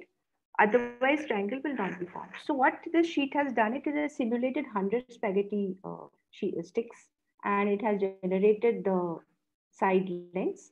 And in the last column, it is checking whether a triangle is formed or not. Okay, so let me uh, go back to the unfilled sheet and let me do this one. Uh, okay, so second one was so A was if B3 is less than equal to C3, then B3 is C3. The third condition will be if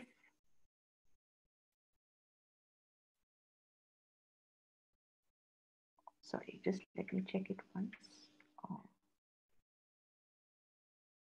Yes, correct. Okay, here I will say equal to if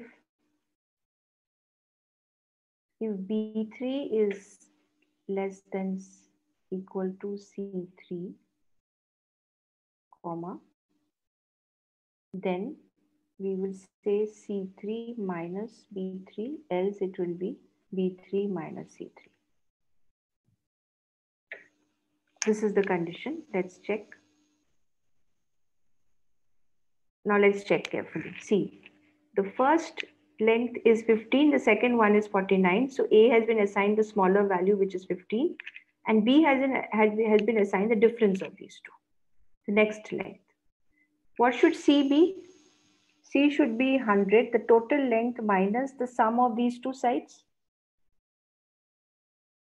So I'll just type 100 minus the sum of these two values in these two cells. So again, let's check. Now let's see. See, every time you tap, the values are changing. But now 51 is X and Y is 46. So A has been given the smaller value 46. The difference has been assigned to B. And the third value is the uh, 100 minus the sum of these two. Does it form a triangle? So I will say if the condition here is if the maximum value of what? These three. Click on D3, comma E3, comma F3.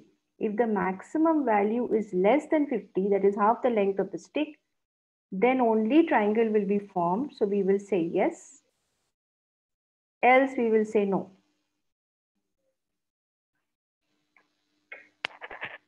This is the under column G where you are checking if the condition has been satisfied or not. Right? No. In this case, a triangle, you can check. If are three sides of a triangle are 15, 8, and 77, then surely a triangle cannot be formed. Right? Now what we do is you click on this cell and you click on the last, press shift. So I repeat, click on the first cell under X, click on the last cell under, uh, at the end of the row under G, after pressing shift. So it will select all the cells and you double click in the corner of this when the cursor becomes a small.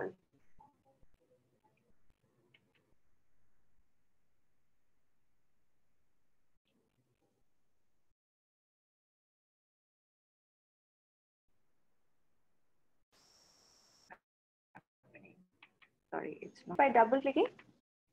There's a problem with my connection, I think. Am I audible? Yes, ma'am. Yeah, uh, you. I don't know why this is not coming. It should come if you double click. Are you getting it by double clicking? I'm going to do it individually. It should have come all together actually.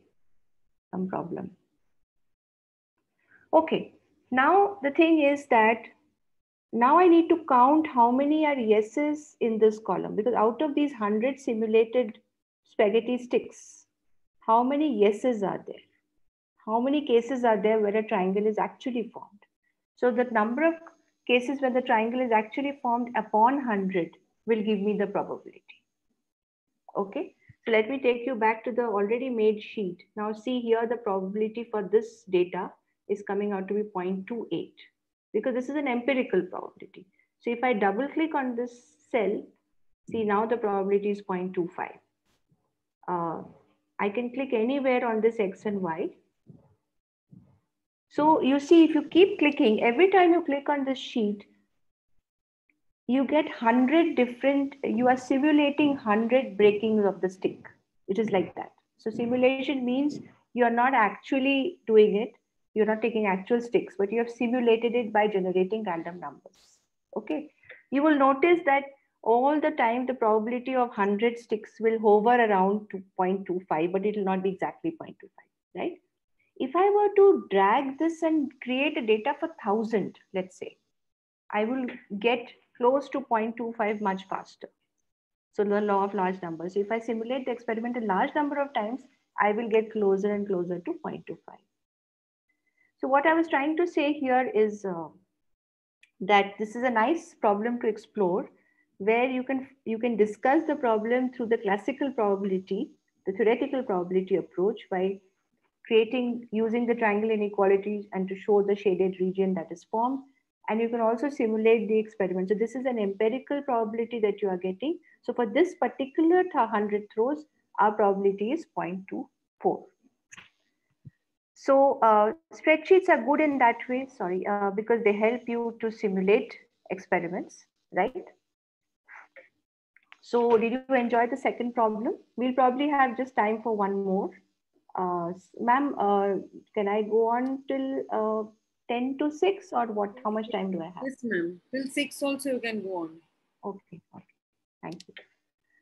All right, so this is the spaghetti problem. Again, it is all there on the slide, so I will share the slides with you. Uh, now, let me uh, take you to, okay.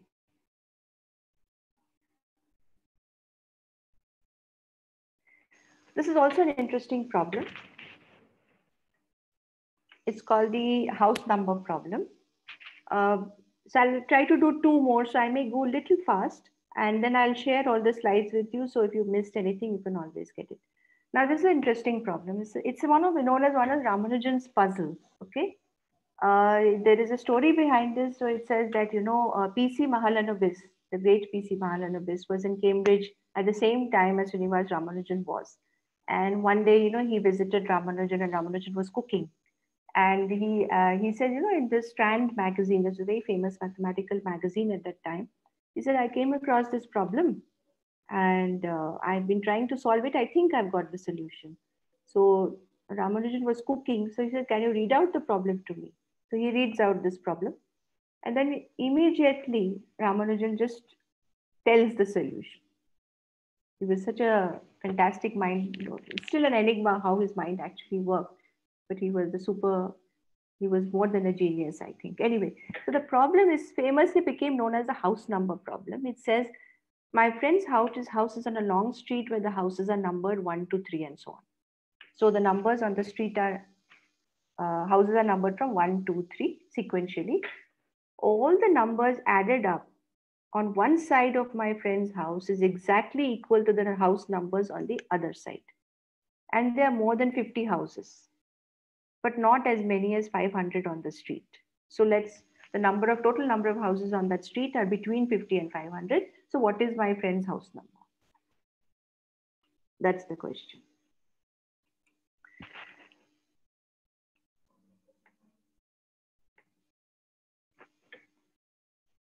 So the houses are numbered one, two, three, four, and so on we don't know how many houses there are. So let's say there are n houses.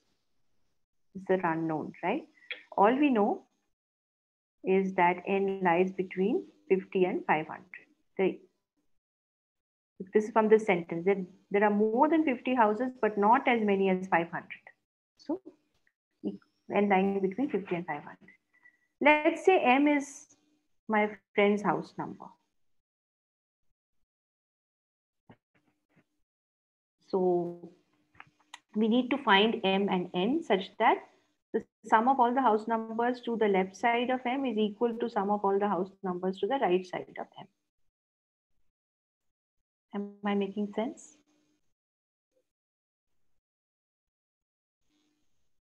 Uh, please uh, take a minute to go through the problem yourself and uh, then let me know if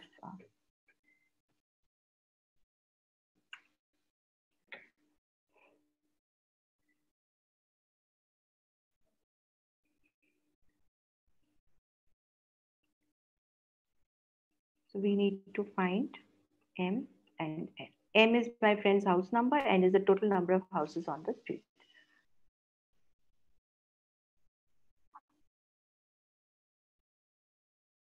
Is idea clear? The question is clear? Yes, yes. Yes, ma'am.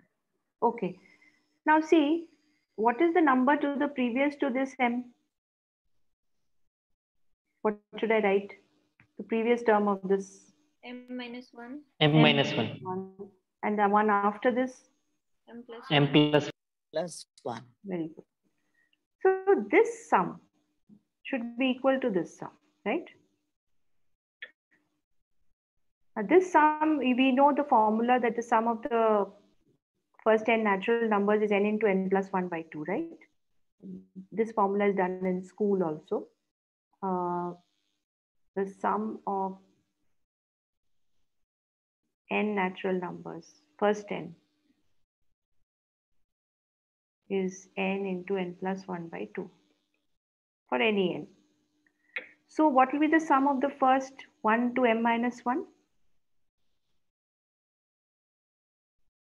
We replace n with m minus 1. So what will we get?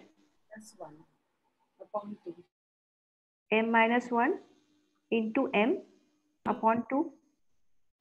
Upon If the sum of the first n natural numbers is n into n plus 1 upon 2, we replace n with m minus 1 because I am only taking sum of the first m minus 1 natural numbers. So m minus 1 into m upon 2, right? Correct. Okay. Now I need to write a sum for this star m plus 1, m plus 2 all the way up to n. But we don't know what are m and n, right? So this sum perhaps can be written as the sum of this entire sequence from 1 to n minus this sum. So this part, this part from n plus 1 to n can be written as n into n plus 1 by 2 minus m into n plus 1 by 2. Am I right?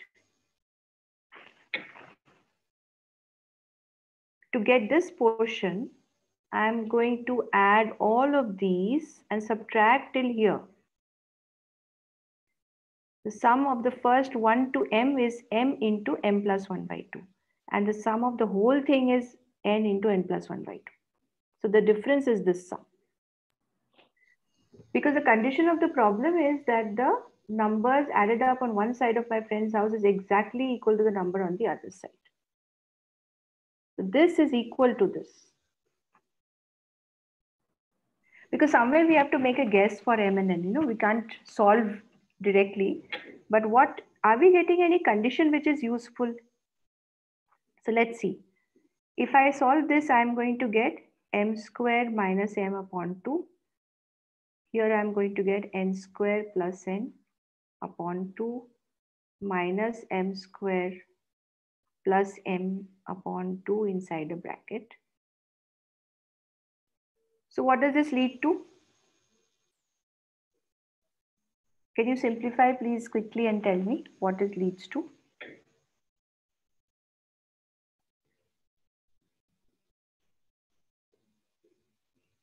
We get m square minus m is equal to n square plus n minus m square minus m. This is n here. What cancels out on both sides? So I, the condition I get is 2m square is n into n plus 1, this n square plus n. I'm just rewriting it as n into n plus 1 or m square is equal to n into n plus 1 upon 2. This is important. This is what we have got from the condition of the problem which says that wherever my friend's house is, let's say m is the house number of the friend, then the sum of all the house numbers to the left is equal to sum of all the house numbers to the right.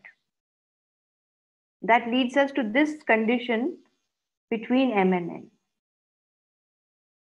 Now the left hand side is a perfect square. It's a square number, right? What is the right hand side? It's of course the sum of the first n natural numbers, but it is also something else. So let me move on. I'm not getting any response, so I'm just going to move on. Okay. So what we have is, see, our condition was that m square is equal to n into n plus 1 upon 2. This is the sum of the first 10 natural numbers, but this also happens to be the formula for the nth triangular number. So what are triangular numbers? Triangular numbers are like, you can use dots to represent them. So one, three, then six. So you keep making triangles, you keep scaling up the side lengths and the total number of dots used are actually the triangular numbers. So first triangular number is one. The second triangular number is one plus two, which is three. The third triangular number is 1 plus 2 plus 3, which is 6. The fourth triangular number is 1 plus 2 plus 3 plus 4, which is 10. Can you tell me what will be the fifth triangular number? 15. 1 plus 2 plus 3 plus 4 plus 5, which is 15, very correct. So the nth triangular number is nothing but 1 plus 2 plus 3 up to all the way up to n, which we know is n into n plus 1 by 2. So n into n plus 1 by 2 is the formula for the nth triangular number. So I'm looking, when I look, when I to solve this puzzle, I need to find a triangular number which is also a square number. Okay, so let's quickly write down the triangular numbers. You already, you already told me quite a few of them. So 1, 3, 6, 10, 15. What will come after 15? The next triangular number will be adding. Someone is put up on the chat. Mm-hmm. 21. 21. Very good. What about the next one? 28. Very good. Fantastic. Next. 34. 28 plus 8. 36. There's some problems, some sound. Yes, very good. So 36 is a square number, isn't it? Yes. So 1, 2, 3, 4, 5, 6, 7, 8. The eighth triangular number 36 is also the sixth square number because the square numbers are what? 1 square is 1, 2 square is 4, so 1, 3 square is 9 and 6 square is 36. So if I take m to be 6, m square is 36 and if I take n to be 8, because the eighth triangular number is 36. So does it satisfy this equation? Does m equal to 6 and n equal to 8 satisfy this equation? Please tell me.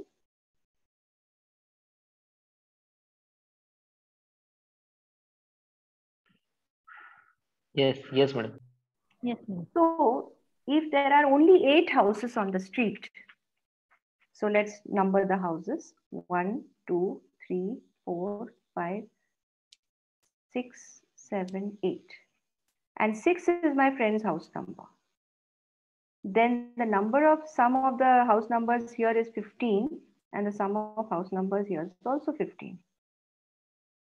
So definitely this is one solution, but it is not, not the solution to my problem because that problem says that, you know, in the street, there are not, there are more than 50 and less than 500 houses. You agree with me? So this is one of the possible solutions. Had that constraint of 50 and 500 not been there, then definitely this is one of the solutions. So what the trick is, we need to look for square numbers which are also triangular numbers. Okay, since time is less, let me quickly take you to a spreadsheet. A spreadsheet will answer the problem for us. And uh, okay, let me go.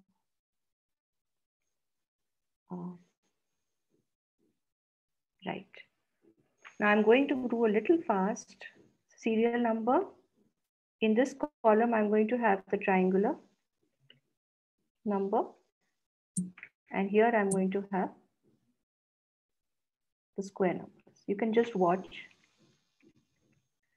Okay, so again, headings in blue, bold, center aligned. Okay, now I need to generate a sequence serial numbers right from 1 to actually 50 to 500, but let me just do it from 1 to 500. So I'm going to enter 1 here, here equal to this plus 1 and this formula, I'm going to use the fill command like I did before. Go to series, go to columns. Starting value is 1 and the ending value is 500. So I've got uh, this big column from 1 to 500. You can scroll down and see. Uh, I'm going to center align these columns for better visibility. Okay. Now, what is the formula for the triangular number? nth triangular number was given by n multiplied by n plus 1 upon 2. So I'm going to use this. This column A is the value of n. So just click on this cell, A2 multiplied by A2 plus 1. A2 is n slash 2. n into n plus 1 upon 2. So tap enter. And the square number is going to be simply the square of this. So you click on A2 raised to the power 2. So I repeat, In this cell, I've inserted the formula for the nth triangular number.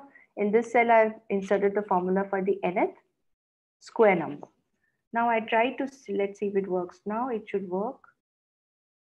So I double clicked, I selected both the formula cells and I double clicked and I got this.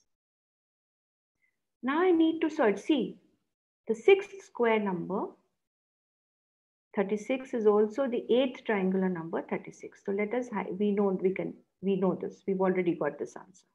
So six was the friend's house number and eight is the total number of houses on the street. But that doesn't work for my problem because 50 and 500 ka constraint. Okay, so I need to search, I need to scroll down and see, are there common values in these two columns? 36 is one. Is there anybody, can you see anything? So you have to keep scrolling down and check, keep your eyes on both the columns. Obviously, they will not come together. That is why there's an N and there's an M.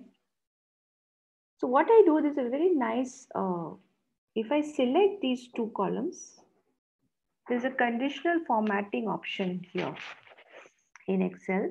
If I go to conditional formatting and ask Excel to mark the common values in these two cells, I go to highlight cell rules and come to duplicate values. You'll find conditional formatting. See, the versions may be slightly different, but somewhere you will find conditional formatting. So I went to conditional. First, you have to click the two columns. Select the two columns by pressing shift. So I'm going to repeat this.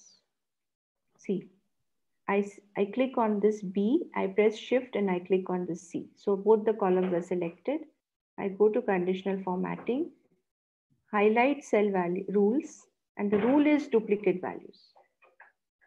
So when I click on this, it tells me, should it mark the duplicate values? And you just say, okay, and see what happens. 36 though we had, 1, 2, 2, 5. Okay. So 1225 is the square of 35.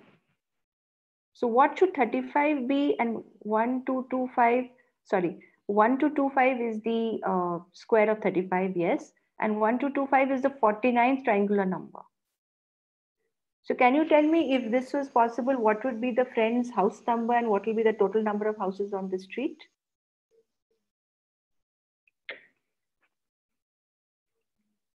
The square number, the n value of the square number, perfect square number will give you the friend's house number. So friend's house number would have been 35. 35. If there were only 49 houses on the street. Right? So this pair tells me that my if if this m value could be m value is the friend's house number so m can be 35 when n can be 49 but that also doesn't satisfy because they are saying there are 550 to 500 houses on the street इसमें तो सिर्फ 49 houses are allowed हैं so let's go ahead and check for more you see it's rare, it's quite sparse. You don't find too many numbers which are commonly both square and triangular numbers. Oh dear. Uh, here is another one. 41616 is the perfect square of 204. Please remember that number. And 41616 is also the 288th triangular number. So 204 can be the friend's house number. And if there are 288 houses on the street and my friend's house number is 204, then all the house numbers to the left is equal to all the house numbers to the right. And there aren't any more possibly in 500. Raghu आवाज नहीं येत आहे. so the solution to Ramanujan's puzzle is what? Actual solution?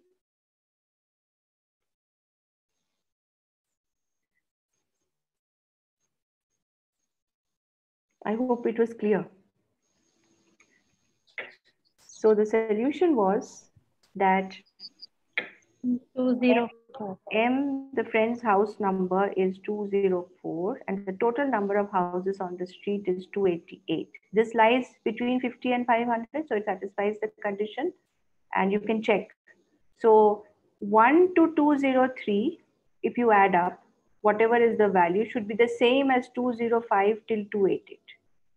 That sum should be, you can check it later. But if this constraint was not there, then there are many solutions.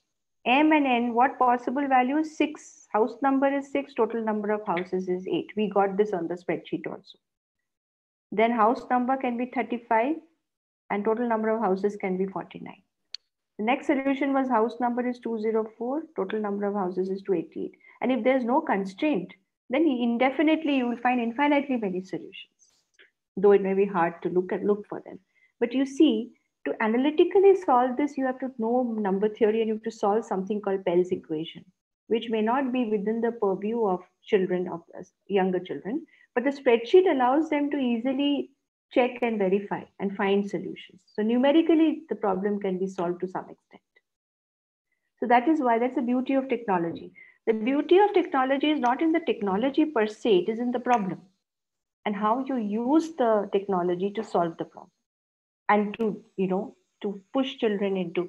What did Ramanujan say? He, he quickly told Mahalanobis that, look, this continued fraction uh, this is a continued fraction. He said this continued fraction gives the solution. So these solutions can be obtained from this continued fractions.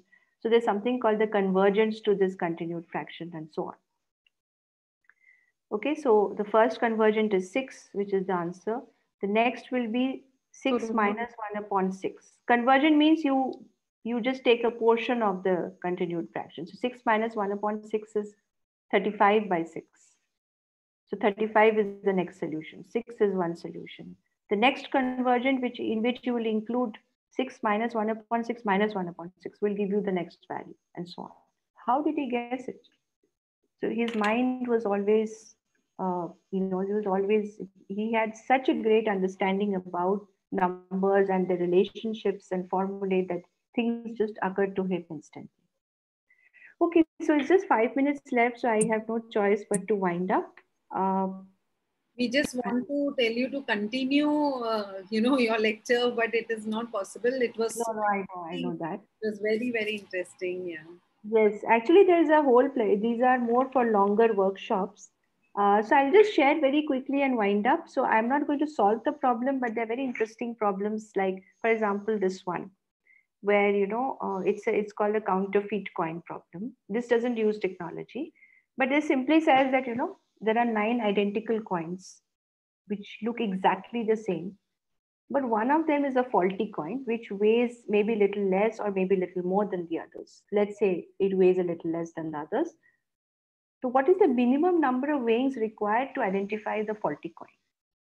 And no weights are available. So there's a balance. You can weigh the coins against each other right? So when this kind of a problem is thrown to children, because it does not require the knowledge of any formulae or any particular theory, they start thinking innovatively. So students, you know, actually, um, so we gave them tasks like, you know, you can design a task and say, okay, what happens if the question is asking about nine coins? And what is the minimum number of, they all look the same, so you can't figure out. But how many weighings will you need to weigh the coins against each other and find out which is the faulty coin? So therefore, the children were, you know, then they said, okay, let's see what happens if there are two coins, three coins, four coins, and up to nine coins. Is there any pattern and so on? And then, you know, you, then they try to see a pattern and generalize the pattern. Students started, you know, giving their own strategy. So some children said, look, there are nine coins. You divide them into two sets of four and four and keep one coin aside. Now, if these two, four and four are equal, then obviously the leftover coin is the faulty coin because the faulty coin is slightly heavier, let's say, than all the other coins. But then the problem is, if one of these two sides, if there are four on one and four on the other, then one of these two sides is heavier, then you know those four will have the faulty coin. Then you'll have to weigh again. So another group says, no, no, that will not work. We should make three equal sets. So if, you, if there are nine coins, you make three coins, three sets. And you weigh any three coins with the other so suppose these two are equal in weight, then the third one obviously has the faulty coin. So in one weighing, you can get to know which set has the faulty coin. And when there are only three coins, then it's very easy because you take any two and weigh them against each other. From that, you can guess which is the faulty coin. So only two weighings are required for nine coins. So they drew a decision tree and you know, this is children's representation, students representation of the problem that if you number the coins one to three until nine, you can, these are the possible cases and the cases were marked and represented using a decision tree. This led to a huge project because the many variations of this problem. They started creating their own problems and finding their, describing their solutions. Like this was a special case of 15 coins. So this group did a project and they did some color coding. So they divided the coins into five, three sets of red coins, blue coins, and yellow coins, numbered from one to 15. And then they, they submitted their solution as this decision tree. So I would like to conclude uh, now. I'll take you to the quickly to the last slide of the presentation.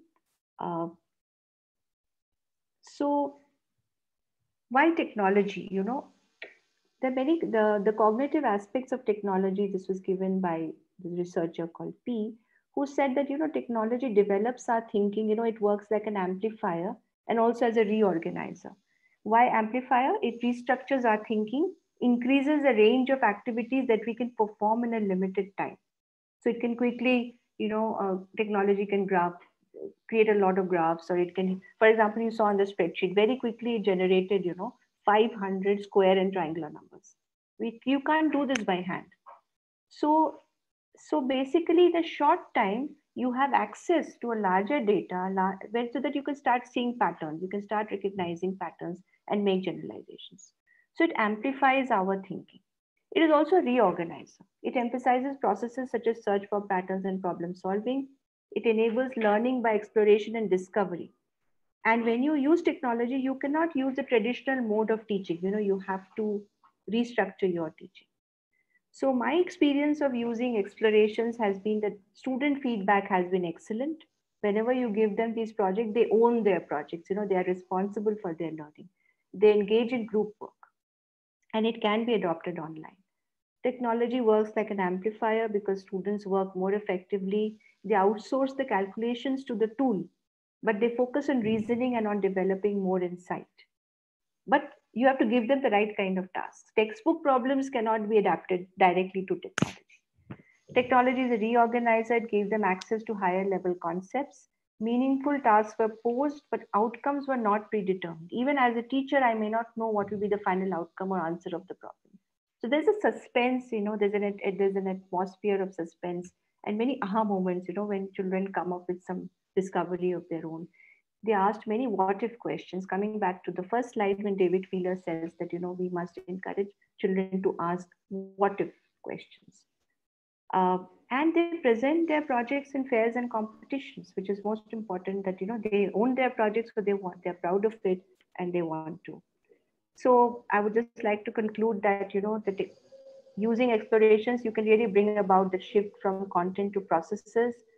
Uh, the relevance of mathematics can be highlighted and the considered use of technology may help to restore the balance between the need for computational skills. So it's not that procedures and hand calculations are not important. They are very important, but they also, explorations are also important and we have to strike the balance.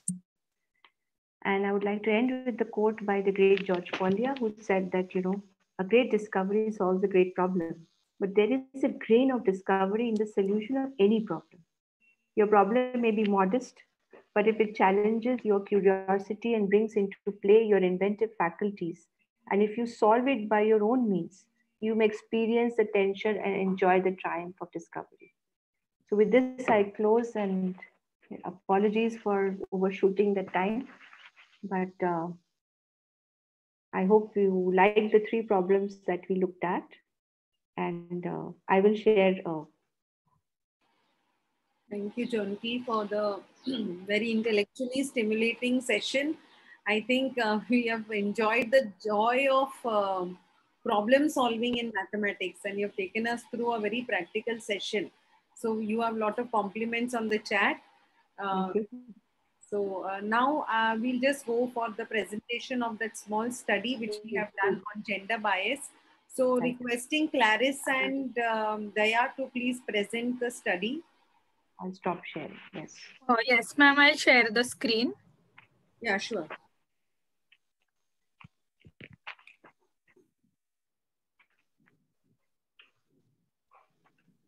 Uh, hello everyone. So uh, as per our ongoing webinar series, along with that, we also conduct a small research, which is gender bias in mathematics teaching learning is the topic for uh, recent research that we conducted. So uh, there are various, uh, you know, biases uh, regarding even mathematics, that is patriarchy in society, uh, different policies that leads to uh, gender bias, teachers socialized in typical way, facilities in school, uh, parents' expectations, the biases that we see in the textbooks, and also there are biases in students. Uh, the UNESCO report of uh, 20, 29th June 2020 uh, Global Education Monitoring Report by UNESCO says that women are underrepresented and portrayed in stereotype roles. Few female characters in textbook, passive and introvert, and need for a gender balance in the textbook. This was all about the UNESCO report. Uh, so now I will be presenting the results of the study that we conducted the, this time. And the objective of our study was to study the perspective of gender bias in mathematics teaching learning, to study the factors related to gender bias in mathematics teaching learning. So we had got 258 responses and uh, these are our questions. That is girls are better in uh, mathematics than boys. So 19% of the teachers had agreed to that.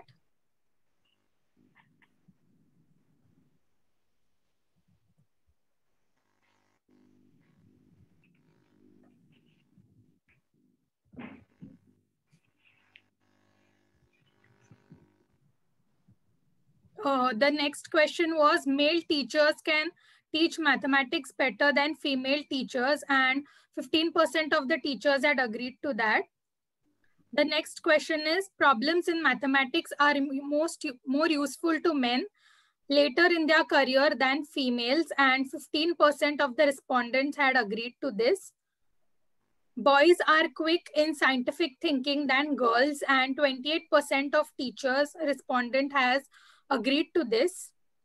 Uh, mathematics subject reflect the patriarchal attitude and 18% of the teachers had agreed to this. Teachers discriminate student on the basis of gender while teaching mathematics and 14% uh, of the teacher respondent have agreed to this. Boys solve sum quickly as compared to girls in mathematics and 10% teachers had, had agreed to this.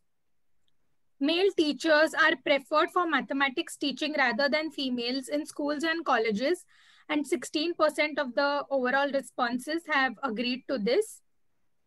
Textbooks are a major source of gender bias in mathematics teaching and 24% have, uh, of teachers have agreed to this. Teachers have prevalent gender bias while teaching mathematics and 17% of teachers has uh, agreed to this question. Now I would like to hand over to Daya to conduct the uh, rest of the questions. Yes, thank you, Clarice. Uh, so moving on with the 11th question. Uh, mathematics requires male characteristics of perseverance and aggressiveness while solving problems. This was our 11th question and 11% of the teachers in our survey agreed to this. Next question, please. One second. Yeah.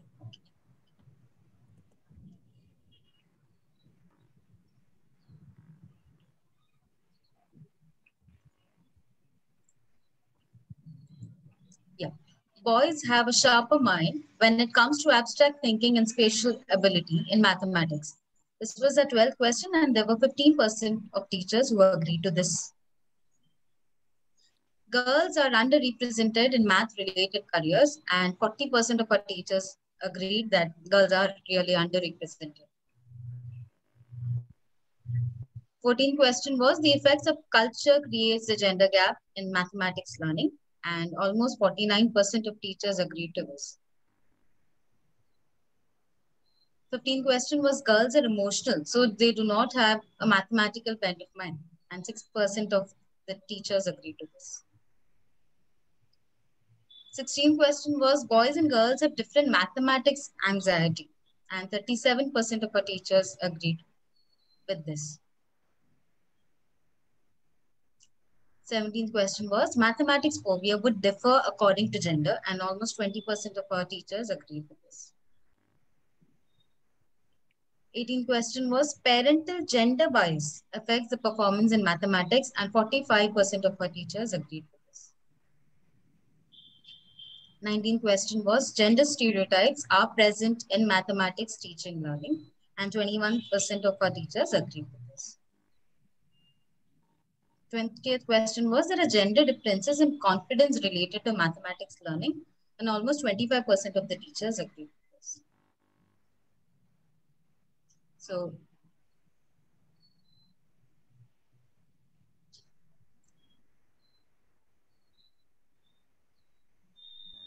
So the extent of gender bias that we found in the teachers' perception were like 22% of our teachers were gender biased. And variables leading to the gender bias in mathematics teaching learning, some of the variables as you can see here. Uh, general perceived differences between the genders, teachers, personal bias also could be a part of it, a patriarchal atti- attitudes. The textbooks are highly gender biased. Perception about career prospects, the subject content, and the cultural effects. So these are the references for our study conducted. Thank you for your kind attention. Thank you, Clarissa and Daya. And uh, we come to a meaningful end of this uh, webinar with lot of learnings uh, for implementation in our classroom. We had an excellent uh, session by Dr. Jonaki Ghosh. And I now uh, request Rachel, if you're there, uh, to propose the vote of thanks. Rachel, are you there? Yes, ma'am. Yes, ma'am. Hello, everyone. It's my privilege to propose a vote of thanks for SXI Maths Webinar Series 8 2021. On behalf of SXI Manager, Father Blaise D'Souza, Principal Dr. Susama Samuel, Staff in charge, Dr. Winnie Sebastian, I extend a hearty vote of thanks to our resource person for the day, Dr. Jonaki Ghosh, who spared time from her busiest schedule for this webinar. Today, we have been privileged and had this amazing opportunity to hear to your session on technology-enabled mathematics exploration as a catalyst to develop mathematics techniques. I'm sure all this information will help us immensely in our respective fields. So thank you once again, ma'am. Next, I will specially thank our father, our manager father, Blaise D'Souza, and Principal Dr. Sosamma Samuel for allowing us to continue with Maths webinar series 8. I would like to thank and appreciate our staff in charge of Mathematics Pedagogy Unit, Dr. Winnie Sebastian, for motivating and encouraging us to continue with this webinar series. My heartfelt gratitude to our student coordinators, Alsona, Riesel, Clarice, Rachel, Daya, and Nisha for being the constant and strong support behind the curtain and providing technical support. And last but not the least, a big thank you to all the participants for your presence. Without each and every one of you on Zoom and YouTube, this event wouldn't be successful. We hope that you're taking back something with, your, with yourself from this session today. So once again, thank you for making this event a success with your enthusiastic participation. With this, I end my vote of thanks. There are some instructions regarding the feedback form. They are as follows. We will be posting the feedback from link when the session will come to an end. The link is already posted in the chat box of Zoom and YouTube. Please note later, no link will be posted on your WhatsApp group. Feedback form will be open only up to 7.30 p.m. While filling the form, make sure that you enter the correct email address. If you do not get the certificate, wait for some time or check your spam folder. Even after that, you do not get the certificate, then you can contact any of the student coordinators before 7.30 p.m. Thank you very much. Thank you. Kudos to the team uh, for organizing such a wonderful uh, session. It has been a great experience. And the students, I think, uh, I really want to compliment you that you have uh, managed everything so beautifully. And thanks to the entire team. Thanks to Dr. Sebastian and uh, everyone. Thank you. Thank you so much. Kusuma Samuel is here. Ma'am, you Yes. want to say Yeah, something? yeah, yes, I am there. Thank you so much, uh, Dr. Thank you, ma'am. It was a pleasure. And Such a wonderful seminar. So I keep in touch with us. Yes, thank keep you. in I will share the, yes, I will share the PPT also. Uh, so participants who might have missed a few things, maybe they'll be able Uh, to. Jonaki, we will put be this recorded session will be put up on the YouTube. So Yeah, uh, yeah. it will be in. They can follow that as well. Yes. Thank you very much, Jonaki, and Thank you. Thank you so much. Yeah. thank you. Okay. Thank you all. Okay, Thank you. This is the Bye-bye. feedback. Bye. Thank you. Bye. Yeah. Okay, ma'am. Okay. Okay, Winnie. Yeah. Bye-bye. Bye. Bye. Bye. Take care. All the best. Yes. All the best, Dr. Janagi. Thank you so much, ma'am. Thank you.